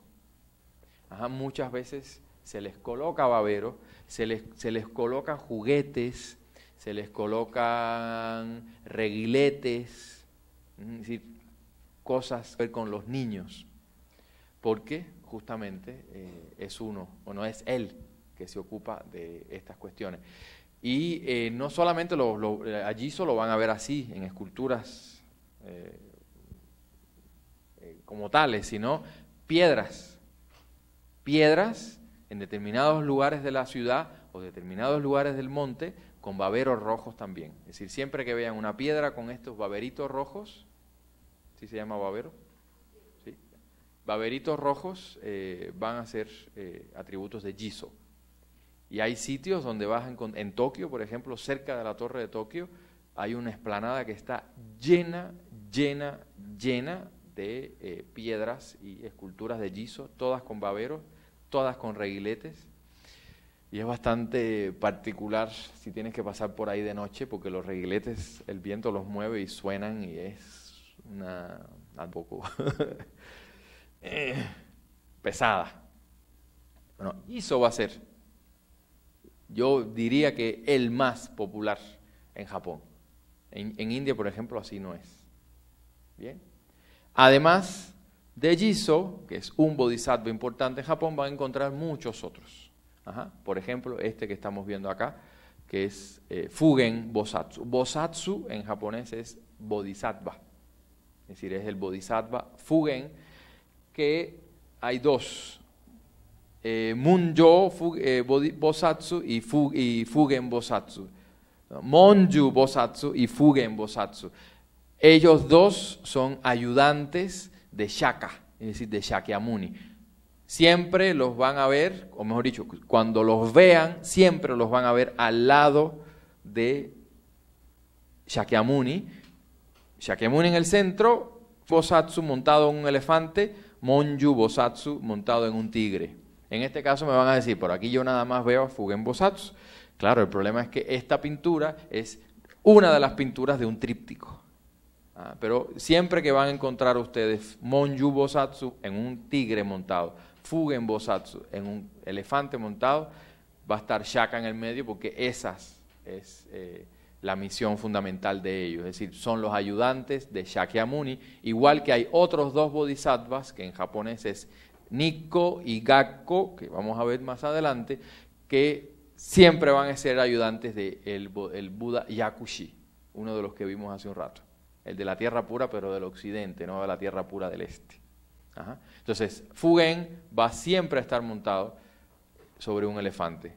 Es decir, independientemente de que no se vea muy bien y todo lo que quiera, es decir, es una imagen de una pintura, periodo Nara, estamos hablando del siglo octavo, noveno después de Cristo, por lo tanto, eh, los colores, y eso es muy característico de las pinturas chinas o japonesas, pinturas muy antiguas, los colores eh, se han desvanecido mucho porque son pigmentos de base, es decir, pintura de base acuosa. Esa técnica se llama color sobre seda o color sobre papel. Son pigmentos naturales, es decir, minerales, animales o vegetales, con eh, aglutinante básicamente goma arábiga y diluyente agua. Entonces son tintas de base acuosa, por lo tanto son muy inestables y, sobre todo a la luz. Es decir, tanto en la pintura como en la gráfica japonesa eso es una característica. No hay tintas de base grasa. No se usan sino hasta el siglo XIX con la importación de las tintas de base grasa occidentales. Es decir, color sobre seda o color sobre papel es la técnica básica para la pintura. Por lo tanto, son muy volátiles. Y las veces se van adquiriendo poco a poco tonalidades ocres que eh, nos, bueno, nos dan como resultado algo así, ¿no? Y se pierden muchas cosas.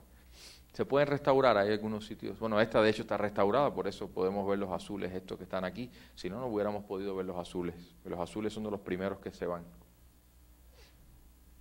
Bueno, aquí en este caso, además, Fugen Bosatsu es muy interesante porque no solo le vamos a ver el halo, sino como si fueran haces de luces que salen de su cabeza, sus adornos quedan perfectamente bien expuestos. Un detalle que es muy interesante y que seguramente Luis Gómez les hablará, es que eh, las, las entidades divinas budistas, entiéndase Budas, Bodhisattvas, etcétera, en India y en la mayoría de los sitios son masculinas. Es decir, el budismo fue bastante misógino en un inicio. Eh, sin embargo, en China, bueno, en el budismo tántrico vamos a ver que por darse el principio femenino importante dentro del tantrismo, eh, aparecen las figuras femeninas. Pero además de eso, en China, el bodhisattva Avalokiteshvara, que los japoneses le dicen Kannon, Avalokiteshvara sería en sánscrito, en japonés Kannon, los chinos le dicen Wanjin, es el bodhisattva de la compasión, y ese es el número dos en tu lista. Ajá. En China es muy interesante que Avalokiteshvara se comienza en determinada época de la historia a representar como mujer. Y en Japón, Kannon es mujer. Entonces es muy interesante porque hay muchos bodhisattvas japoneses. Hay algunos que parecen andróginos, pero hay otros que son femeninos. Kannon es femenino. Y eso es una transformación china muy interesante. Bueno, aquí vemos esto igualmente en Koyasan. Aquí se aprecia mejor a Jiso con su babero, ¿lo ven? Y este bodhisattva que ven es Padmapani. No es un bodhisattva muy común en Japón. No es muy común. Pero lo encontramos también en la iconografía tibetana es común, en la iconografía budista, india y china también es común. Padmapani quiere decir el sostenedor del loto. Padmapani. Padma es loto. Igual que van a encontrar que muchas veces se combinan con Padmapani, Vajrapani, el sostenedor del Vajra. El Vajra es el diamante, la joya, el tridente, eso es muy típico del budismo tántrico. ¿Han visto alguna vez alguna celebración de budismo tántrico o alguna, el Dalai Lama en algún momento que a veces tiene una cosita en la mano de hierro que es como si fuera un tridentito, un doble tridentito, ese es el Vajra. Simboliza la joya, el tridente, el rayo, es un atributo de Shiva y eso es muy particular porque el budismo tántrico incorpora elementos del hinduismo. Bueno, en Japón el budismo tántrico recuerden que es Shingon, ¿bien? Y esto es una imagen del centro más importante Shingon, por lo tanto, Padmapani, el sostenedor del loto, está aunque no es común en Japón, y Vajrapani, el sostenedor del Vajra, también está. Y casi siempre igual van en parejas. ¿Los shinigami son, japoneses, son budistas? ¿Los qué? Shinigami. ¿Qué es eso? Shinigami. Gami es kami, por lo tanto, shini, shinu, a mí me suena muerte, los kamis de la muerte, eso no tiene nada que ver con budismo, eso debe ser shinto, pero yo nunca había escuchado los shinigami. Si es Gami, es Kami, por lo tanto es Shinto, y habría que ver, habría que ver cómo se escribe. Shini me suena Shinu, Shinu es muerte. Eh, no, esos no los, no los conozco, nunca los, los he visto. Shinigami, Ajá, igual que, bueno, Gami es el Kami de Kami, igual que Kamikaze. ¿Conocen Kamikaze? Kamikaze lo que significa es el Kami del viento, o el viento divino. Ellos se pusieron así por el viento divino, es decir, el kami de los vientos. Ok, este es el segundo bodhisattva más importante y creo que los demás ponentes van a hablar también de Avalokiteshvara. Se escribe Avalokiteshvara. Avalokiteshvara, en japonés es más fácil, Kanon Kannon Bosatsu, el Bodhisattva Avalokiteshvara, es quizás dentro del panteón de bodhisattvas del budismo o de la iconografía budista el más relevante en casi todas las escuelas de budismo.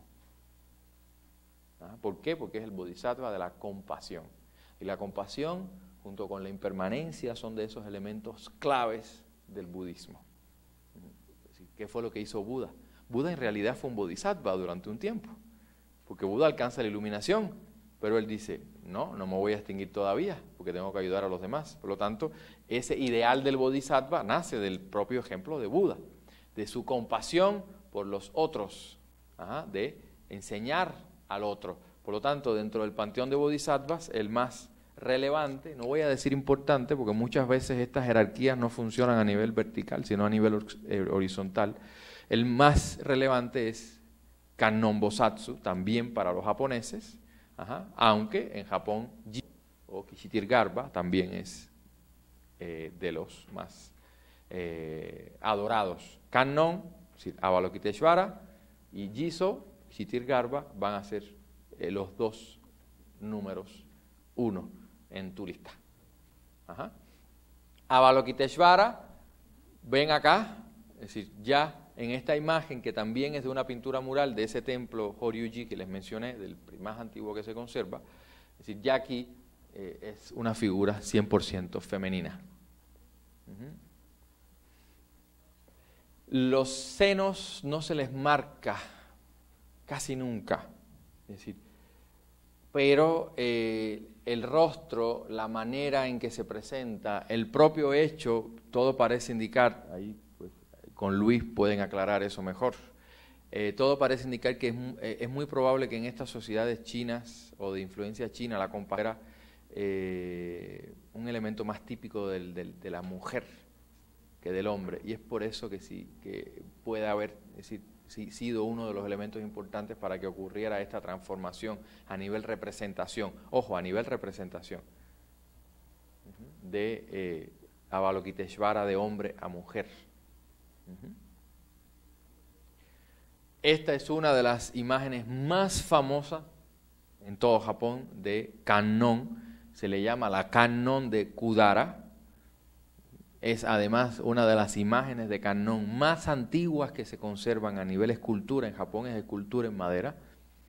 Está hoy día también eh, guardada en Nara. Eh, esta no está en Horyuji, esta está en Yakushiji es otro de los templos que está en las afueras de Nara. Y además es un típico ejemplo de escultura del periodo Wei chino, con W.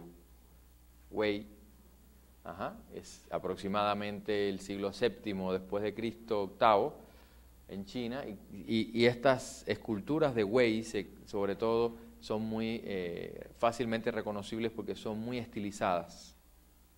Vamos a ver que después la figura de Buda y de otras deidades dentro del panteón budista empiezan a engordar un poquito.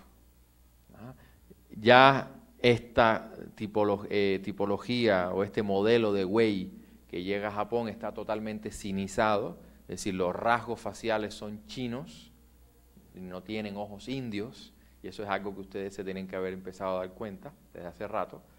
Es decir, se van adaptando al contexto local por el que se van moviendo. Entonces, esta es Kudara Kannon, que es de eh, las imágenes más importantes de la escultura budista japonesa. Sí. El mudra, este del lado de acá, es el mismo este del lado de acá. Lo único que este está un poquito más elevado, pero es la mano abierta igual. Si lo puedes encontrar así, pero así es más común que lo veas, por ejemplo, en pinturas o en relieves o en esculturas también, que en escultura de bulto también lo encuentras, pero igualmente lo puedes ver así, es decir, es exactamente lo mismo, la palma de la mano abierta. Y esta vasija, que ya la habíamos visto también en el caso de la figura de Giso que vimos anteriormente, ocasionalmente, ocasionalmente, también la vamos a encontrar con Kannon. Ojo, Kannon tiene en Japón 30 manifestaciones. Es decir, canon se puede presentar o se puede representar de 30 formas diferentes. Es decir, no va a haber un solo modelo para representar. Ahorita vamos a empezar a complicar más esto. Esta imagen es famosa sobre todo por lo que les dije hace un momento. Bien, esta tenía que haber ido antes porque esta es eh, el caso que hablábamos en el centro está Yakushiji, eh, Yakushiji, Yakushi Nyorai, es decir, el Buda Yakushi, el Buda de la tierra pura de Occidente, acompañado de dos bodhisattvas, Nikko y Gakko, que les había dicho, si Fugen Bosatsu, que va sobre el elefante, y Monju Bosatsu, que va sobre el tigre, acompañan a Shaka. Nikko y Gakko, que también son bodhisattvas, acompañan a Yakushi Nyorai. Esta imagen que estamos viendo en particular es del templo que se llama Yakushi-ji, es decir, el templo de Yakushi, que también está en las afueras de Nara. Estas imágenes del periodo Nara posterior ya son, ustedes ven que no son tan estilizadas como el modelo Waze, como que vimos en el caso de Kudara Kannon, ya son un poquito más turgentes, la carne se nota, bien. Y otra cuestión interesante que tampoco es común en Japón es la tribanga en bodhisattvas. La tribanga, recuerden que es esa flexión del cuerpo, sobre todo de las caderas hacia un lado del eje. Eso es muy particular de, India. En Japón no es para nada común. Sin embargo, en el caso de los bodhisattvas Nikko y Gakko, vamos a ver que eh, tienen esa flexión. En el resto van, ustedes, en las otras que hemos visto, no lo han encontrado con excepción de los guardianes de la fe, pero eh, no es común. El halo, vamos a ver que en este caso particular, tanto el de el Buda Yakushi como el de los dos bodhisattvas, es más grande y se presta para un trabajo también de repujado impresionante, porque esto que están viendo acá, es decir, las piezas son de bronce, pero el halo es de oro.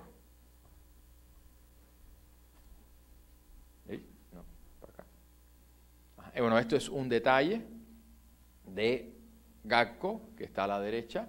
Aquí se puede ver perfectamente bien. Es decir, ya por supuesto hay un desarrollo mucho mayor de la técnica de la cera perdida aquí que en las otras que vimos al principio. y ven todos los detalles del pelo. Tiene pelo, no está eh, con el pelo cortado, joyas que marcan su posición de príncipe y adornos en el resto del cuerpo.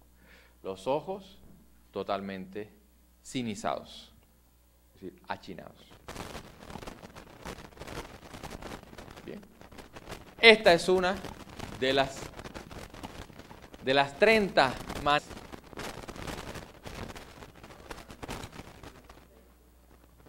¿Sí? Ah. Esa no me la sabía. De las 30, gracias. De las 30 maneras de manifestarse Kannon en Japón, vimos una, que es la más común, bien, en el caso de la Kudara Kannon. Esta es otra, yo nada más les traje tres, no les traje las 30. Esta es otra de las más, no, les traje cuatro, me entiendo, mentira. Esta es eh, una de las más populares, que es la Kannon de 11 cabezas. Ajá. Yuichimen Kannon. Dentro de la iconografía budista, como también lo van a encontrar dentro de la iconografía hinduista, es muy común en ocasiones representar a las deidades con múltiples cabezas y múltiples brazos. Eso no es una particularidad de Japón, eso de India se extrema en el budismo tibetano sobre todo, ¿bien? Y en Japón también se utiliza. Ajá, el, no, ¿no? ¿Y este sí? Sí. Eh, no quiere decir esto, es decir, estos son convenciones representativas. Es decir, no quiere decir que la deidad tuviera realmente once cabezas o tuviera mil brazos, ¿bien? sino funciona para dar a entender las capacidades múltiples de la deidad. Es decir, tiene once cabezas que, por un lado, implican los once aspectos de la deidad, la deidad bondadosa, compasiva, eh, amable, fiera, protectora, sino también para darte idea de que la deidad puede atender los pedidos de mucha gente y puede hacer cosas a la vez. En el caso de las cabezas, sobre todo, es un recurso que se utiliza para mostrarte, para mostrarte los diversos aspectos de la deidad y sus capacidades de atención. En el caso de los brazos, que esa la vamos a ver ahorita, tiene sobre todo que ver con las múltiples capacidades reales de la deidad. Hay otros casos en India, por ejemplo, sobre todo eh, deidades hinduistas eh, femeninas como Durga, que se le representa con muchos brazos, porque en cada brazo se le va a poner un atributo, un arma. Y de esa manera, pues también puedes ver, es decir, en el caso de Durga, Durga tiene muchas armas porque ella, es decir, había un demonio búfalo que estaba azotando a la humanidad y los dioses individualmente no podían. Entonces van a buscar a Durga y cada, un, cada dios le da un arma diferente a Durga para que Durga mate al demonio búfalo, que finalmente lo hace. Entonces, bueno, de esa manera colocarle a Durga cada una de las armas. O en el caso de otras deidades hinduistas, en cada una de las manos colocas atributos que te sirven para calificar a la deidad. Bien. En el caso del budismo, sobre todo lo vamos a ver en estas variantes de bodhisattvas que ya se han mezclado con elementos tántricos y que vienen a Japón a partir del el budismo esotérico, sobre todo, como es el caso de la canón de once cabezas que estamos viendo aquí, y aquí vemos un detalle de una escultura de canón de once cabezas, donde podemos ver, pues justamente, es decir, algunas de esos atributos, como en este caso que estamos viendo aquí, es decir, es decir no, no solo aspectos amables, sino más eh, conflictivos de la deidad y que tienen que ver con la protección también de la fe. Unos, otros, tienen que ver con guiar por el buen camino a los corderos de También.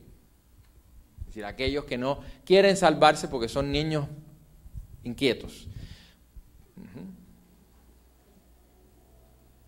Y esta que estamos viendo es Senju Kanon, es decir, el canon de los mil brazos.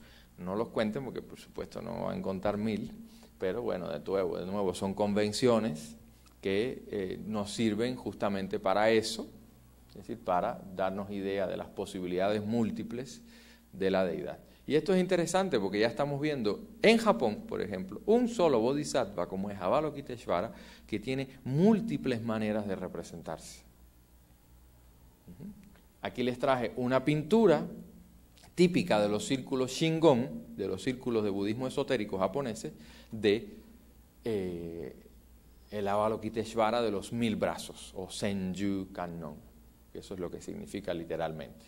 Esta es una pintura también antigua, por eso los eh, problemas con el color. Una de las últimas imágenes que les traje, déjenme ver si es cierto, no, esta es la última. La penúltima imagen que les traje es esto, que es un templo de Kioto que se llama Sanju Sangendo, significa el salón de los 33 vanos, de los 33 espacios intercolumnares. Vaya. Es un edificio que es un chorizo larguísimo que eh, tiene 33 espacios intercolumnares. Por lo tanto, es inmenso. Y adentro de ese edificio, que es lo más importante, que es un edificio además que pertenece también a la corriente del budismo esotérico, está este, esta manifestación de Canón, que es una manifestación que combina las once cabezas con los mil brazos. Lo interesante del sitio es que en este sitio hay mil y una representaciones, es decir, esculturas de Avalokiteshvara en esta variante. 500 de un lado, 500 del otro lado y una grande al centro. Y este, el tamaño de estas figuras son el mío. Son todas figuras en madera ensambladas, doradas, con los guardianes delante. Esto es uno de los sitios eh, espectaculares que, eh, si de nuevo, alguna vez van a Japón, es importante que hagan. Para finalizar, Kioto, Kioto, frente al Museo Nacional de Kioto, no hay pérdida, el Sanju Sangendo.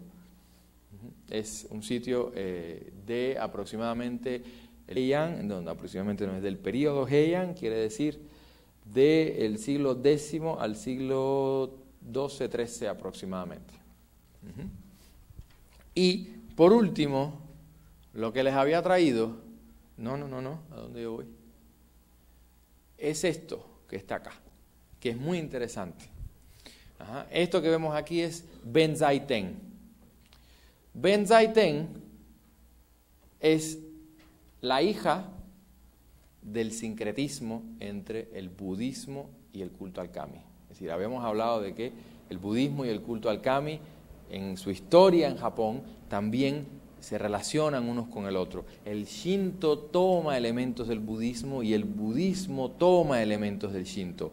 Benzaiten, no su nombre, sino ese kami en particular, era un kami japonés que tenía que, decir, era algo así como una musa, sobre todo de la música, se le representa tocando laúd, viva, bueno, un laúd japonés que se llama viva. Ahí no lo tiene, ¿no? Pero bueno, tiene las manos en posición de tocar laúd. El culto al kami no representaba a los kami, porque los kami eran entidades invisibles. Sin embargo, ¿qué estamos viendo aquí? Que esta, este kami comienza a representarse de manera antropomórfica exactamente igual que hacían los budistas con sus budas. Pero además, ¿qué otra cosa sucede? Toma el nombre de Benzaiten, que es una de las musas típicas de la mitología india. Por lo tanto, lo que estamos viendo con Ben Zaiten, y se los traje de última imagen, es justamente eso que les decía. Aquí, bueno, está totalmente desnuda porque ya es una pieza que se conserva en museos, pero originalmente era una pieza que se, se le ponía su laúd y formaba parte de los santuarios Shinto. Los santuarios Shinto, el santuario Shinto es la residencia del kami. El kami es invisible, el kami se deposita en un objeto, por regla general, que va a ser el cuerpo del kami, el shintai. Ese cuerpo es, está oculto siempre. Eso no se muestra a nadie. Eso está en el interior del santuario. El interior del santuario está totalmente cerrado. Ahí solamente entra el sacerdote del santuario cuando tiene que atender al kami o limpiar allá adentro, pero jamás se exhibe.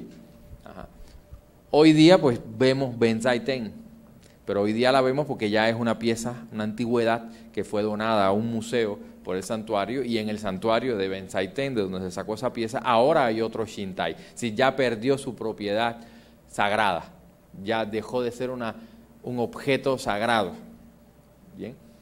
En las épocas en que funcionaba realmente, es decir, estaba totalmente vestida y además no se exhibía al público. Pero quería hoy concluir justamente con eso para eh, que quedara presente la importancia de ver estos sistemas de pensamientos y su iconografía no como entidades aisladas del resto del universo con quien convivieron, sino en constante interacción. interacción que además no solamente va a permitir que tomen y transformen, o, que tomen y se transformen a ellas mismas, o transformen eh, eh, espacios dentro del propio mundo religioso, sino que den lugar a cuestiones híbridas como estas y que forman parte de la cotidianidad japonesa, como también la forman de China, del Tíbet y de India. Entonces, bueno, hasta aquí, no sé si eh, hablé poco, hablé demasiado, no creo, porque ya me están mirando con cara como que de ¿cuándo nos vamos? Eh, bueno, ¿alguna pregunta? Ah, los tori son como unos arcos que tienen la parte de arriba así. El tori lo que te marca es la separación del espacio sagrado del espacio profano. Es decir, siempre vas a encontrar un tori antes de llegar al santuario shinto. Es decir, justo eh, te sirve como advertencia a ti de que ya está el santuario allí y también de que ya estás pasando a un espacio que no es el espacio profano, que es un espacio sagrado, que es el espacio de los kami si estás entrando a territorio kami. Y eso lo encuentras en la ciudad, lo encuentras en el monte, en todas partes de Japón, sí. En unos, exacto, eso depende de la época, del estilo, cuál es el modelo que se toma. Es decir, no hay, ningún cambio, no hay ninguna implicación conceptual en por qué un halo redondo y uno en forma de mando. Depende del estilo, de la época. Es decir, va a cambiar mucho incluso de país en país y de momento histórico.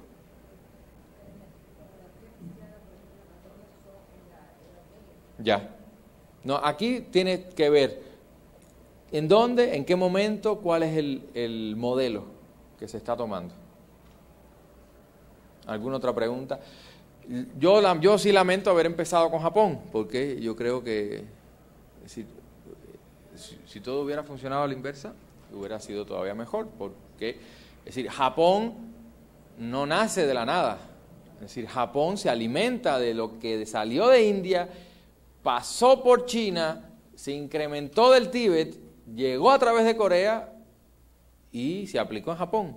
Entonces, eso es importante verlo. Por eso yo les decía que, bueno, ustedes traten de hacer el ejercicio de reversa.